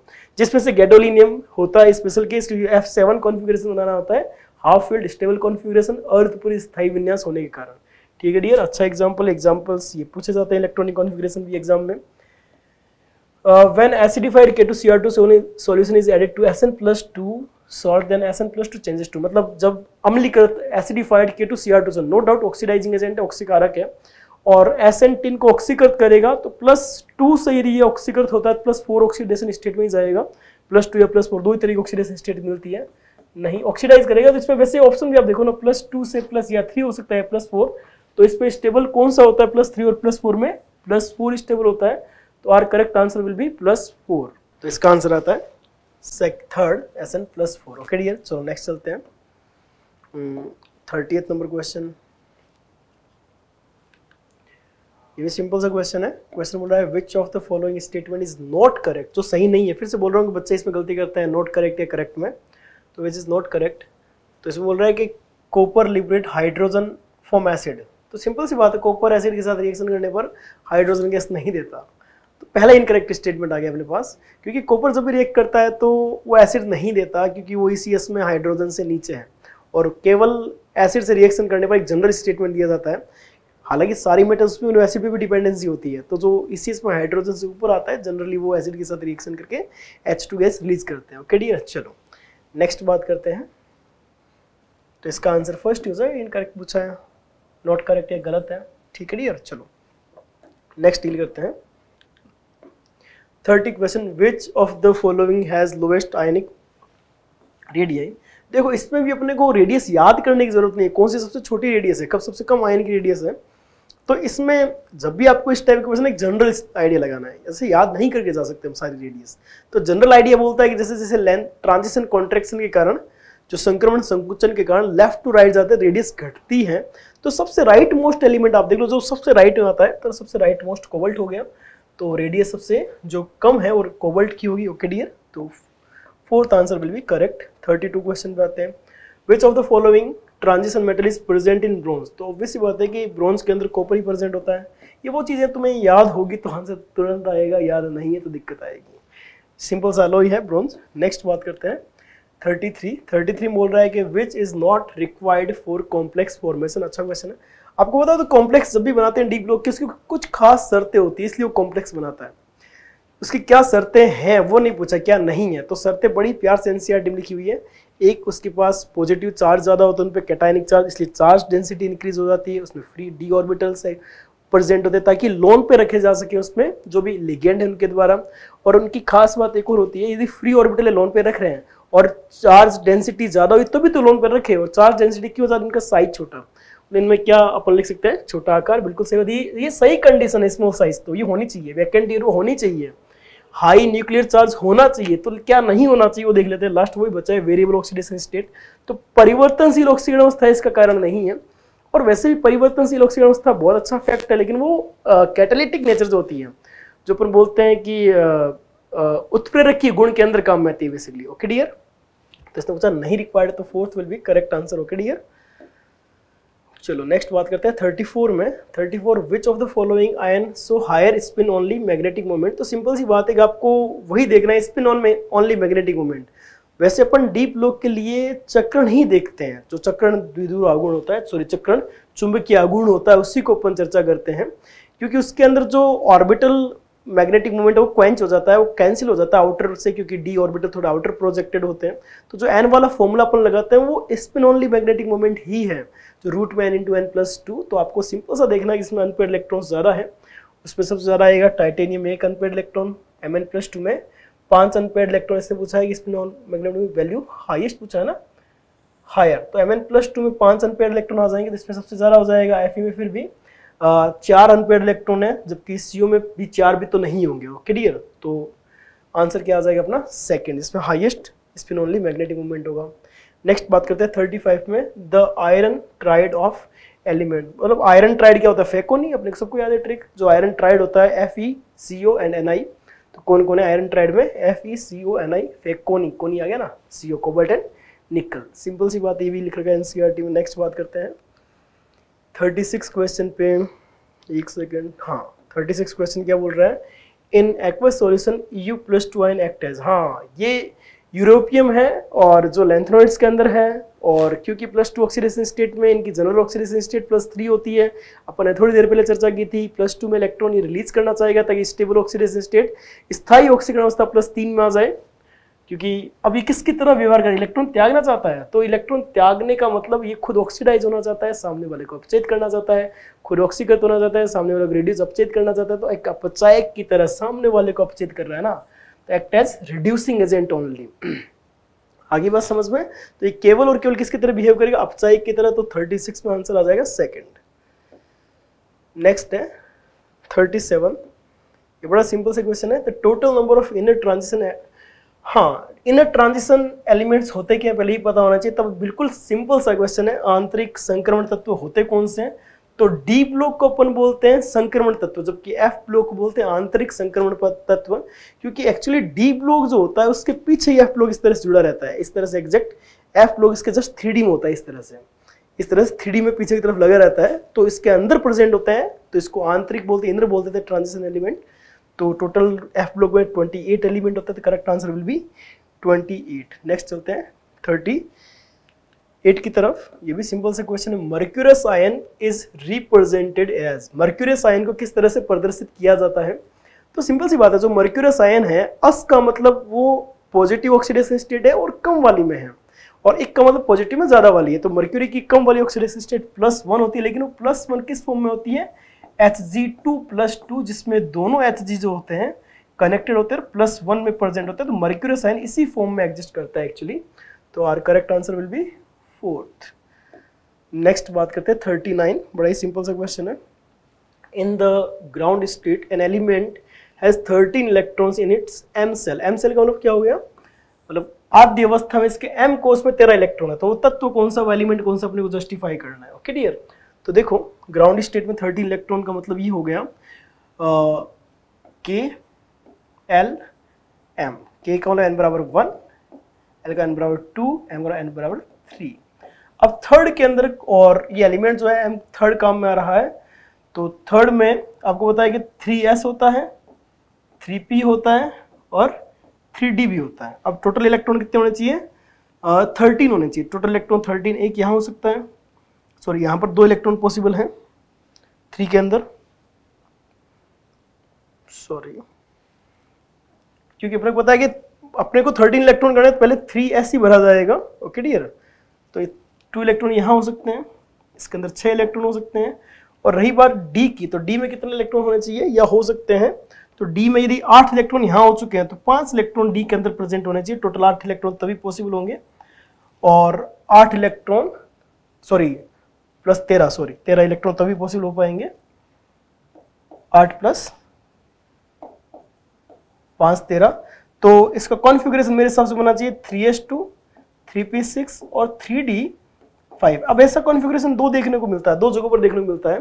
ये क्रोमियम के लिए भी कॉन्फ़िगरेशन होता है और मैग्नीज के लिए भी ये कॉन्फ़िगरेशन देखने को मिलता है। अपने को आप देखते हैं ऑप्शन पे डिपेंड करेगा आप कॉपर का नहीं, निकल का नहीं आयरन का नहीं, लेकिन क्रोमियम ओके तो correct answer will be chromium यदि एम एन होता उस पर वो भी करेक्ट जा सकता था, लेकिन एम एन ऑप्शन नहीं दिया है, अपने क्रोमियम ही दिया है, क्योंकि एक ही सही करना था। चलो तो नेक्स्ट फोर्टी क्वेश्चन नंबर पर चलते हैं। Forty question which of the following element is alloyed with copper to form brass simple सी बात है, जब जिंक को अलॉय किया जाता है, जिंक के साथ कॉपर का जो अलॉय बनता है, उसको ब्रांस यहाँ पर अपन बोलते हैं पीतल, पीले रंग का होता है इसलिए तो इसमें आंसर क्या आ जाएगा? जेड एन ओके डियर चलो नेक्स्ट चलते हैं फोर्टी का आंसर थर्ड आ जाएगा। फोर्टी वन पे चलते हैं डियर फोर्टी वन बोलता है which of the following pair involve isoelectronic species या आइसो इलेक्ट्रॉनिक्स आयन कौन सा इलेक्ट्रॉन इलेक्ट्रॉनों की समान है? तो सिंपल सी बात है एम एन ट्वेंटी फाइव होते हैं, तीन इलेक्ट्रॉन रिलीज़ हो चुके हैं ट्वेंटी टू हो चुके हैं इसमें ट्वेंटी सिक्स है ट्वेंटी फोर है, नहीं। नेक्स्ट है ट्वेंटी फाइव पे था, दो इलेक्ट्रॉन रिलीज़ किए तो ट्वेंटी थ्री बच गए हैं। और एफ़ ट्वेंटी सिक्स पे होता है, तीन इलेक्ट्रॉन रिलीज़ के दिए भी ट्वेंटी थ्री है तो दोनों में twenty three twenty three electron तो correct answer will be second और इसी तरह के क्वेश्चन आते हैं एक्चुअली नीट में बहुत सिंपल से क्वेश्चन आते हैं। देखो, आपको एक्यूरेट करने सही करने ज़्यादा ज़रूरी है ओके डियर चलो नेक्स्ट बात करते हैं फोर्टी टू क्वेश्चन नंबर पे। के आई जब सी फोर के साथ मिक्स किया जाता है तो क्या सॉल्यूशन बनता है? डी ब्लॉक के एनसीआर टी बहुत प्यारी रिएक्शन दे रखी है कि जब सी यू आई टू या C U plus two aqueous solution of I minus के साथ आता है तो एक्चुअली अपने उसमें एनसीआर में लाइन लिखी रहती है कि जो ट्रांजिशन मेटल्स है, वो हायर ऑक्सीडेशन स्टेट में फ्लोराइड के या ऑक्सीजन के साथ स्टेबल होती है, उनके साथ जाना चाहती है, जबकि यही हायर ऑक्सीडेशन स्टेट में बात करें तो आयोडीन वगैरह के साथ नहीं जाना चाहती इवन आयोडीन के साथ अपने हायर से लोअर में आ जाती है लोग। तो इसमें फिर रिएक्शन में प्रोडक्ट क्या बनता है कि हायर में स्टेबल नहीं है सी यू आई टू एक तरह से स्टेबल नहीं होता। तो इसमें क्या बन जाता है product C U two I two copper plus two से प्लस वन में आ जाता है। तो कॉपर ने जो इलेक्ट्रॉन लिया है, वो आयोडीन से लिया हुआ है तो आयोडीन माइनस वन से ज़ीरो ऑक्सीडेशन स्टेट में आ जाता है और साथ में जो आयन है, इसमें के प्लस काम में आ रहा था साथ में। और इसमें सी तो वापस में कनेक्ट हो जाएँगे यदि पूरा एक पूरी कंप्लीट रिएक्शन लिखो तो अपना मेन प्रोडक्ट जो है, वो क्या हो जाएगा? C U two I two and I two और एक रेडॉक्स रिएक्शन है, जिसमें कॉपर प्लस टू से कॉपर प्लस वन में गया है और आयोडीन माइनस वन से आयोडीन ज़ीरो में गया हालाँकि कुछ आयोडीन माइनस वन में है, लेकिन ओवरऑल अपना आयोडीन को जस्टिफाई करेंगे। इलेक्ट्रॉन इसने रिलीज़ किए हैं। तो इसी इलेक्ट्रॉन को लिया किसने? कॉपर ने। या कॉपर इलेक्ट्रॉन लिए तो आई कहाँ से? आयोडीन के पास से ही आए होंगे। तो बहुत ही प्यारी रेडॉक्स रिएक्शन इसका लॉजिक मैंने बताया क्यों होती है रिएक्शन नेचर में। चलो तो आंसर इसका क्या हो जाएगा? C U two I two and I two और साथ में आयंस भी आपस में मिक्स हो जाएँगे। Third answer will be correct okay dear चलो नेक्स्ट चलते हैं। 43 थोड़ी स्पीड बढ़ाई है क्योंकि थोड़ा फास्ट करना पड़ेगा। सिंपल सिंपल से क्वेश्चन है। बहुत ज़्यादा स्पीड नहीं सिंपल से समझ आएगा आपको ना। Which of the following will act as oxidising agent इसमें बहुत अच्छा कंसेप्ट है कि जो डीप लोग अपन बोलते हैं कि अपर एलिमेंट हायर में ज़्यादा स्टेबल नहीं होते। थोड़ी देर पहले कंसेप्ट डील किया था मैंने। अपर वाले हायर ऑक्सीडेशन स्टेट में लोअर में रहना चाहते हैं। और जो नीचे वाले हैं लोअर एलिमेंट जो नीचे वाला एलिमेंट है, वो हायर ऑक्सीडेशन स्टेट में स्टेबल है। तो इसका मतलब नीचे वाले जो एलिमेंट है हायर में स्टेबल तो ऑक्सीडाइजिंग एजेंट का काम नहीं करेंगे ना भाई साहब। जबकि ऊपर वाले क्या है हायर में ऊपर जो एलिमेंट है, वो हायर में स्टेबल नहीं है। तभी तो क्रोमियम प्लस सिक्स में ऑक्सीडाइजिंग एजेंट है, तभी तो मैग्नीज प्लस सेवन में ऑक्सीडाइजिंग एजेंट है। तो ये ऑक्सीडाइजिंग एजेंट की तरह काम करने लग जाते हैं। तो इन्होंने पूछा है कि कौन सा ऑक्सीकार का कार्य करता है तो ऊपर वाला हायर ऑक्सीडेशन स्टेट होना चाहिए तो ये तो नीचे वाला एलिमेंट है मैन मोलिबडन या टंगस्टन तो क्रोमियम यहाँ पर हाईएस्ट में नहीं प्लस थ्री में लेकिन ऊपर वाले जब हाई ऑक्सीडेशन स्टेट में तो स्टेबल नहीं है तो ऑक्सीडाइजिंग एजेंट का काम करते हैं ओके डियर तो इसमें आंसर आ जाएगा first next forty fourth number question which of the following pair has the same size किसका साइज़ सेम है? तो बड़ा ही सिंपल सा क्वेश्चन है, जो अपन थोड़ी देर पहले और डील किया था। कि जो लेंथ एंड कॉन्ट्रेक्शन जो इफ़ेक्ट आता है वो किस पे आता है? जिरकोनियम एंड हाफ़ पीएम पे। तो जो साइज़ सेम होता है जिरकोनियम और हाफ़ पीएम का ऑलमोस्ट साइज़ सेम होता है। और बच्चे को ये क्वेश्चन देने का लॉजिक क्या है कि एक्चुअली जो radius in general in general बोल रहा हूँ, ऐसा ऑलवेज नहीं है। जो एटॉमिक रेडियस रहती है जनरली आयनिक रेडियस में भी ऐसा ही ट्रेंड रहता है। तो जिरकोनियम हाफ़ पीएम में अब नेचुरल फॉर्म में भी एक पिकोमीटर का डिफरेंस होता है। और प्लस फोर आयन फॉर्म में भी ऑलमोस्ट एक पिकोमीटर का ही डिफरेंस होता है, जो कि नेग्लिजिबल मान सकते हैं अपन लोग, और इनका भी ऑलमोस्ट साइज़ सेम होता है तो 44 का आंसर जाता है third next 45 transition metal form binary compound with halogen okay binary compound मतलब एक ट्रांजिशन मेटल होगा, दूसरा नॉन मेटल जो हेलोजन का होगा, उसमें बोला जा रहा है कि which of the following element will form M F three type compound मतलब जो संक्रमण धातु है हेलोजन उसके साथ द्विअंगी मतलब दो जने हैं ना और इसमें भी एम एफ़ थ्री एम यहाँ डी का धातु है तो कौन एम एफ़ थ्री प्रकार का यौगिक बनाएगा? तो इसमें प्लस तीन ऑक्सीजन अवस्था का अपने को पता चल ही रहा है तो यौगिक प्लस थ्री ऑक्सीडेशन स्टेट वाला होना चाहिए। तो क्रोमियम जो है, वो प्लस थ्री में होता ही है तो आंसर तो वैसे क्रोमियम हो ही गया। आगे भी चेक कर लेते हैं, ये प्लस टू में है, ये प्लस टू में है, ये प्लस टू में है। तो प्लस थ्री का जो बनता है, वो क्रोमियम ही बनाता है तो answer will be first C R F three okay dear next है forty six which of the following is not हाँ अब सारे environmental chemistry not a greenhouse gas greenhouse effect cause नहीं करती तो आप सबको पता है ग्रीन हाउस इफ़ेक्ट में कौन कौन सी आता है? ग्रीन हाउस इफ़ेक्ट कोज करने में कौन कौन जैसे ओजोन उसमें अंदर इंक्लूडेड है। उसके अंदर सी एच फोर इंक्लूडेड है, उसके अंदर H two vapour C O two included है। तो अपने को चेक करना है कौन सा नहीं है। तो सी ओ नहीं है, पहली बात ये अपन ने तीनों बात कर ली थी। हाइड्रोकार्बन सी एच फोर तो होती है। चलो। तो first answer will be correct. ये सीधी एनसीआरटिक लाइन्स है।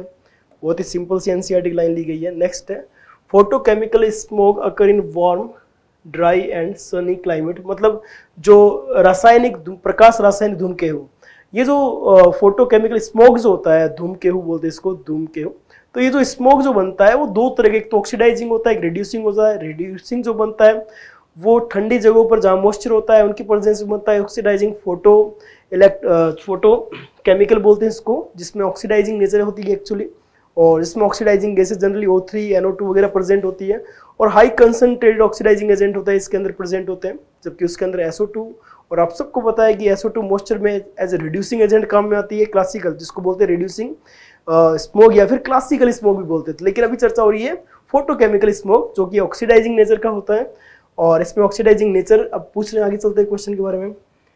One of the following is not and कौन नहीं है, ये पूछा जा रहा है इस स्मोक में ना। कौन सा? प्रकाश रासायनिक धूमकेहू का घटक नहीं है। तो अभी बात की थी एनओ के अंदर प्रेजेंट होता है O three present even unsaturated hydrocarbon भी प्रेजेंट होते हैं।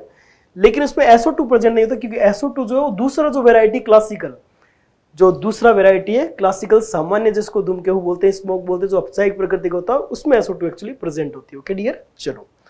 तो और correct answer will be third next है फोर्टी सेवन 47 क्वेश्चन बोला है which of the following statement is not true about classical smog जो दूसरी वेराइटी अपन ने चर्चा की थी, जो दो वेराइटी एक ऑक्सीडाइजिंग था, और दूसरा रिड्यूसिंग अभी रिड्यूसिंग के बारे में चर्चा हो रही है, और वही पूछा जा रहा है कौन सा इनकरेक्ट है। ठीक है? It's main component are produced by action of sunlight नहीं।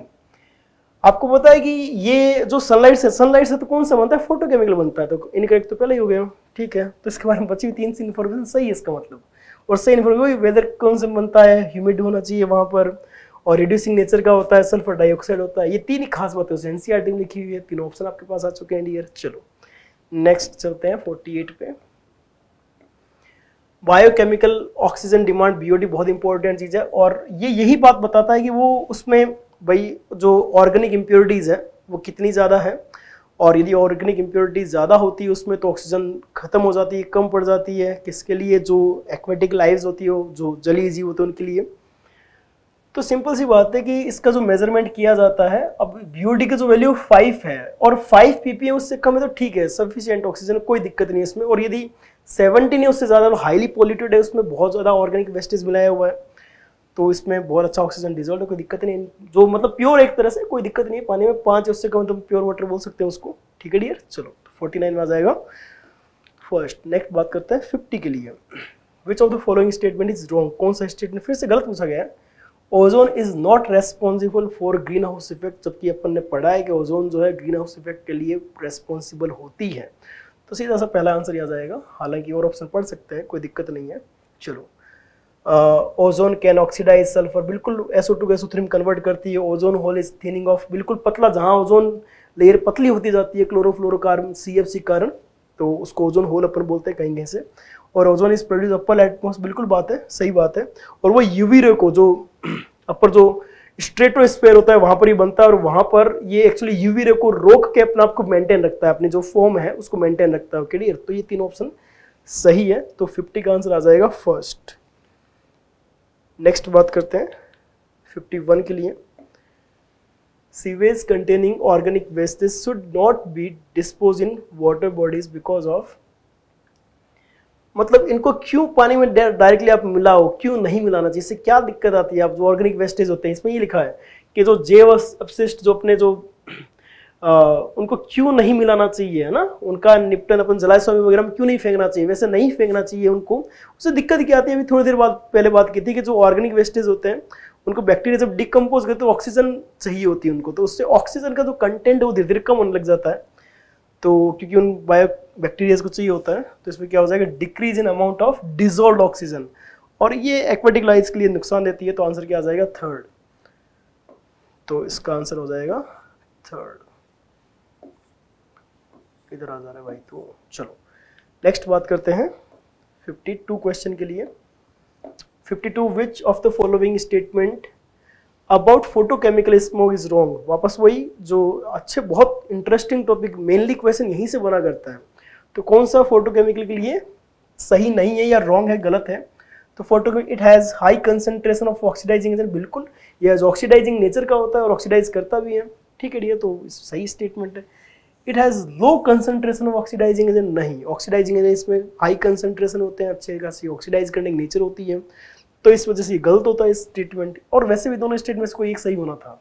इन दोनों स्टेटमेंट से पता चल रहा है, बिल्कुल मतलब रिवर्स स्टेटमेंट दोनों में से कोई एक सही होगा। तो सेकंड आंसर आ जाएगा क्योंकि वो गलत स्टेटमेंट है। नेक्स्ट 52 में बात करते हैं। The gases involve involve around the earth is known as atmosphere बिल्कुल सही बात है। The lowest layer of this up to ten kilometre the sea level से जो टेन किलोमीटर तक जो होती है अपन इसको बोलते हैं, क्षोभ मंडल ट्रोपोस्फेयर उसके बाद में आता है स्ट्रेटोस्फेयर जहाँ पर ओजोन लेयर होती है। अपने कोर्स में दो तरह के जो पॉल्यूशन बता रखे हैं। एक मेनली ट्रोपोस्फेयर में है, जो पॉल्यूशन अपने को सीखना है, और उस ट्रोपोस्फेयर में जो पॉल्यूशन है, वो मेनली या तो सोयल पॉल्यूशन या फिर वाटर पॉल्यूशन या फिर एयर पॉल्यूशन मिट्टी, मृदा प्रदूषण जल प्रदूषण और वायु प्रदूषण को अपन ने डील किया है। ओके डियर चलो। उसके बाद बात करते हैं अपन लोग। 53 question number dinitrogen and oxygen are main constituents of air बिल्कुल सही बात लगभग 80 परसेंट नाइट्रोजन और ऑलमोस्ट उसमें बची हुई मेनली कॉन्स्टिट्यूएंट ऑक्सीजन का ही है। तो फिर वो आपस में रिएक्शन क्यों नहीं कर रही? Question but these do not react each other and form nitrogen oxide मतलब एनो डायरेक्टली क्यों नहीं बन रही? मतलब ये ऑब्जेक्शन उठाया जा सकता है। भगवान ने नाइट्रोजन ऑक्सीजन दोनों बनाई है। तो वहीं रिएक्शन करके जो एनो या एनो टू क्यों नहीं बन रही तो बेसिकली एन टू में ट्रिपल बॉन्ड होता है और वो तोड़ने में बहुत एनर्जी लगती है हाईली एंडोथर्मिक रिएक्शन उसमें सोसी अभिक्रिया उच्च ताप पर होती है, लगभग 1400-1500 डिग्री सेल्सियस पे जाके रिएक्शन करवानी पड़ती है तो इतना हाई टेम्परेचर रिएक्शन होती है, वो नॉर्मल टेम्परेचर पे नहीं हो सकती है। ना और हो जाती है क्या होता। खत्म हो जाता है यार सब कुछ। अब ऑक्सीजन ही नहीं होती नेचर में ऑक्सीजन नहीं होती तो मतलब नाइट्रोजन के साथ रिएक्शन वैसे भी आप सोचो कि एन टू यदि के साथ रिएक्शन कर भी लेती। तो एन टू यदि के साथ रिएक्शन करती तो एन ज़्यादा है भाई साहब। और ओ टू लिमिटिंग रिएजेंट का काम करता तो ऑक्सीजन खत्म ही हो जाता वहाँ पर। ओके डियर तो ऑक्सीजन कंप्लीटली खत्म हो जाता है वहाँ पर। ओके डियर तो देखते हैं option the reaction is endothermic बिल्कुल सही बात है, उसमें सोसी है उस पर लेती है। रिक्वायर्स वेरी हाई टेम्परेचर बिल्कुल सही बात है, उसमें अच्छा खासा टेम्परेचर चाहिए। इसलिए नहीं हो पाती अदरवाइज़ ये हो जाती, कोई दिक्कत नहीं है ओके डियर चलो। वैसे कंबस्टन रिएक्शन जो होती है, वो सारी ऑलमोस्ट एक्सोथर्मिक होती है, लेकिन इस नाइट्रोजन को छोड़ के क्योंकि ट्रिपल बॉन्ड को तोड़ने में बहुत ज़्यादा एनर्जी लगती है एक्चुअली ट्रिपल बॉन्ड को तोड़ने में बहुत एनर्जी लगती है। ओके डियर नेक्स्ट बात करते हैं। The pollutant which come directly हाँ ये अच्छा क्वेश्चन है air from the source of called primary pollutants. Primary pollutants are sometimes converted into secondary pollutant, which are following तो secondary pollutant. हिंदी में बताते हैं कि कुछ ऐसे प्रदूषक होते हैं पोल्यूटेंट जो डायरेक्टली नेचर में इन्वॉल्व हो रहे हैं। जैसे जो एग्जॉस्ट है, धुआँ, जो निकलता है व्हीकल से तो डायरेक्टली आपके एनवायरनमेंट में आ रहा है आपको पोल्यूट कर रहा है। ऑर्गेनिक वेस्टेज आपने टिका दिए मतलब बड़े रिसोर्स में रिजर्वर वगैरह में तो डायरेक्ट पोल्यूटेंट है। आपने पेस्टिसाइड काम में लिए पेस्टिसाइड आपने काम में लिए तो डायरेक्ट पोल्यूटेंट काम। लेकिन कभी कभी क्या होता है कि आपने जो भी पोल्यूटेंट मिलाई वो फिर एक नया पोल्यूटेंट क्रिएट कर रहा है, एक नया पोल्यूशन करने वाला कारक क्रिएट कर रहा है प्रदूषण क्रिएट कर रहा है। तो उस पोल्यूटेंट से नया पोल्यूटेंट जो क्रिएट हुआ, जो नया पोल्यूशन क्रिएट कर रहा है, उसको बोलते हैं सेकेंडरी तो ये बहुत अच्छे फोटोकेमिकल बता रखा है, बात करते हैं। सीओ एग्जॉस्ट से सीधा बनता है तो ये आंसर नहीं है, ये डायरेक्ट है हाइड्रोकार्बन अनबर्न कार्बन सीधा बनता है, ये ऑप्शन नहीं हो सकता। हाँ P A N peroxy acetyl nitrate होता है पी एन ये एक्चुअली जो फोटोकेमिकल स्मोक होता है, जो ऑक्सीडाइजिंग नेचर का होता है, उससे ये फॉर्म होता है, जो कैंसर जेनेट होता है, जो कैंसर प्रोड्यूस करता है। तो ये सेकेंडरी एक्चुअली पहले हाइड्रोकार्बन बनते हैं, उनसे फिर ये आगे प्रोड्यूस होता है। ओके डियर केमिकल रिएक्शन होने के बाद तो इसका आंसर थर्ड हो जाएगा सेकेंडरी में। जबकि एनोड डायरेक्ट क्रिएट होता है, जो फैक्ट्रीज वगैरह होती है, वहाँ से या एग्जॉस्ट में भी निकलता है, ये direct NO primary polymer direct ये नेचर में आ जाता है। आगे फिर ये आगे जाके सेकेंडरी को क्रिएट करने का काम करता है, जब फोटोकेमिकल स्मोक में कन्वर्ट होता था ओके डियर चलो। तो 55 में आंसर हो जाएगा थर्ड नेक्स्ट अपन बात करते हैं 56 में which of the following statement is correct अब पूछा है कौन सी सही स्टेटमेंट है तो बात करते हैं सही स्टेटमेंट कौन सा सही कथन है? तो ozone hole is a hole formed in stratosphere from which ozone ooze is out ये बोल रहा है कि ओजोन मतलब जो होल बनता है तो वो स्ट्रेटोस्फेयर में बनता है अपने को पता है कि वो मतलब समताप मंडल बनता है, लेकिन वहाँ से ओजोन बाहर जाती है क्या चर्चा करते हैं, बाहर नहीं जाती एक्चुअली वहाँ से ओजोन डेस्ट्रॉय हो जाती है। नेक्स्ट बात करते हैं और चर्चा करते हैं। Ozone hole is formed in troposphere ये तो गलत हो गया वैसे भी। Ozone hole is thinning of ozone layer of stratosphere at some places बिल्कुल सही लग रहा है ये। जो समताप मंडल होता है, जो स्ट्रेटोस्फेयर होता है, वहाँ पर ओजोन लेयर थोड़ी थिन हो जाती है पतली हो जाती है क्योंकि वहाँ पर सी एफ़ सी आती है कुछ ओजोन पार्टिकल्स को ऑक्सीजन में कन्वर्ट करने काम कर देती है और खुद जो एक रेडिकल क्लोरीन होता है वो उसी फॉर्म में बना देता है। इवन एक रेडिकल क्लोरीन बहुत सारे ओजोन को डिस्ट्रॉय कर देता है। मतलब इवन इतना एबल होता है कि एक, एक बहुत मतलब बहुत ज़्यादा थिन कर दे इस लेयर को। बहुत ज़्यादा पतला करने की कैपेबिलिटी एक क्लोरीन रेडिकल रखता है। तो सीएफसी बहुत नुकसानदायक है। मेरे हिसाब से इसको ये चैप्टर का पर्पज यही है। कि आप समझो इस चीज़ को, यार, नेचर में आप कितना नुकसान पहुँचा रहे हो पॉल्यूशन कर रहे हो, और आज आप लोग ये नुकसान पहुँचा रहे हो, आने वाली पीढ़ी इसको भुगतेगी ओके डियर नेक्स्ट बात करते हैं। Ozone his means vanish ozone layer around the earth completely नहीं, समाप्त पूरा नहीं हो रहा, वो थिन धीरे धीरे पतली होती जा रही है इससे यूवी रेज एंटर कर रही है तो third answer will be correct next बात करते हैं। 57 क्वेश्चन नंबर क्वेश्चन है कि which of the following particles will not come under the greenhouse chemistry देखो ग्रीन हाउस केमिस्ट्री का मतलब ये है कि अपन जो भी ये पॉल्यूशन कर रहे हैं, इसको कैसे मिनिमाइज करें टेन टू ज़ीरो चलें तो क्या क्या करें इस तरह से, उससे पॉल्यूशन कम हो सके। क्या क्या क्या ऐसा करना चाहिए जिससे पॉल्यूशन कम हो? ये ग्रीन हाउस केमिस्ट्री लेकिन ये बोल रहा है, कहाँ ग्रीन हाउस केमिस्ट्री नहीं लग रही? तो बात करते हैं।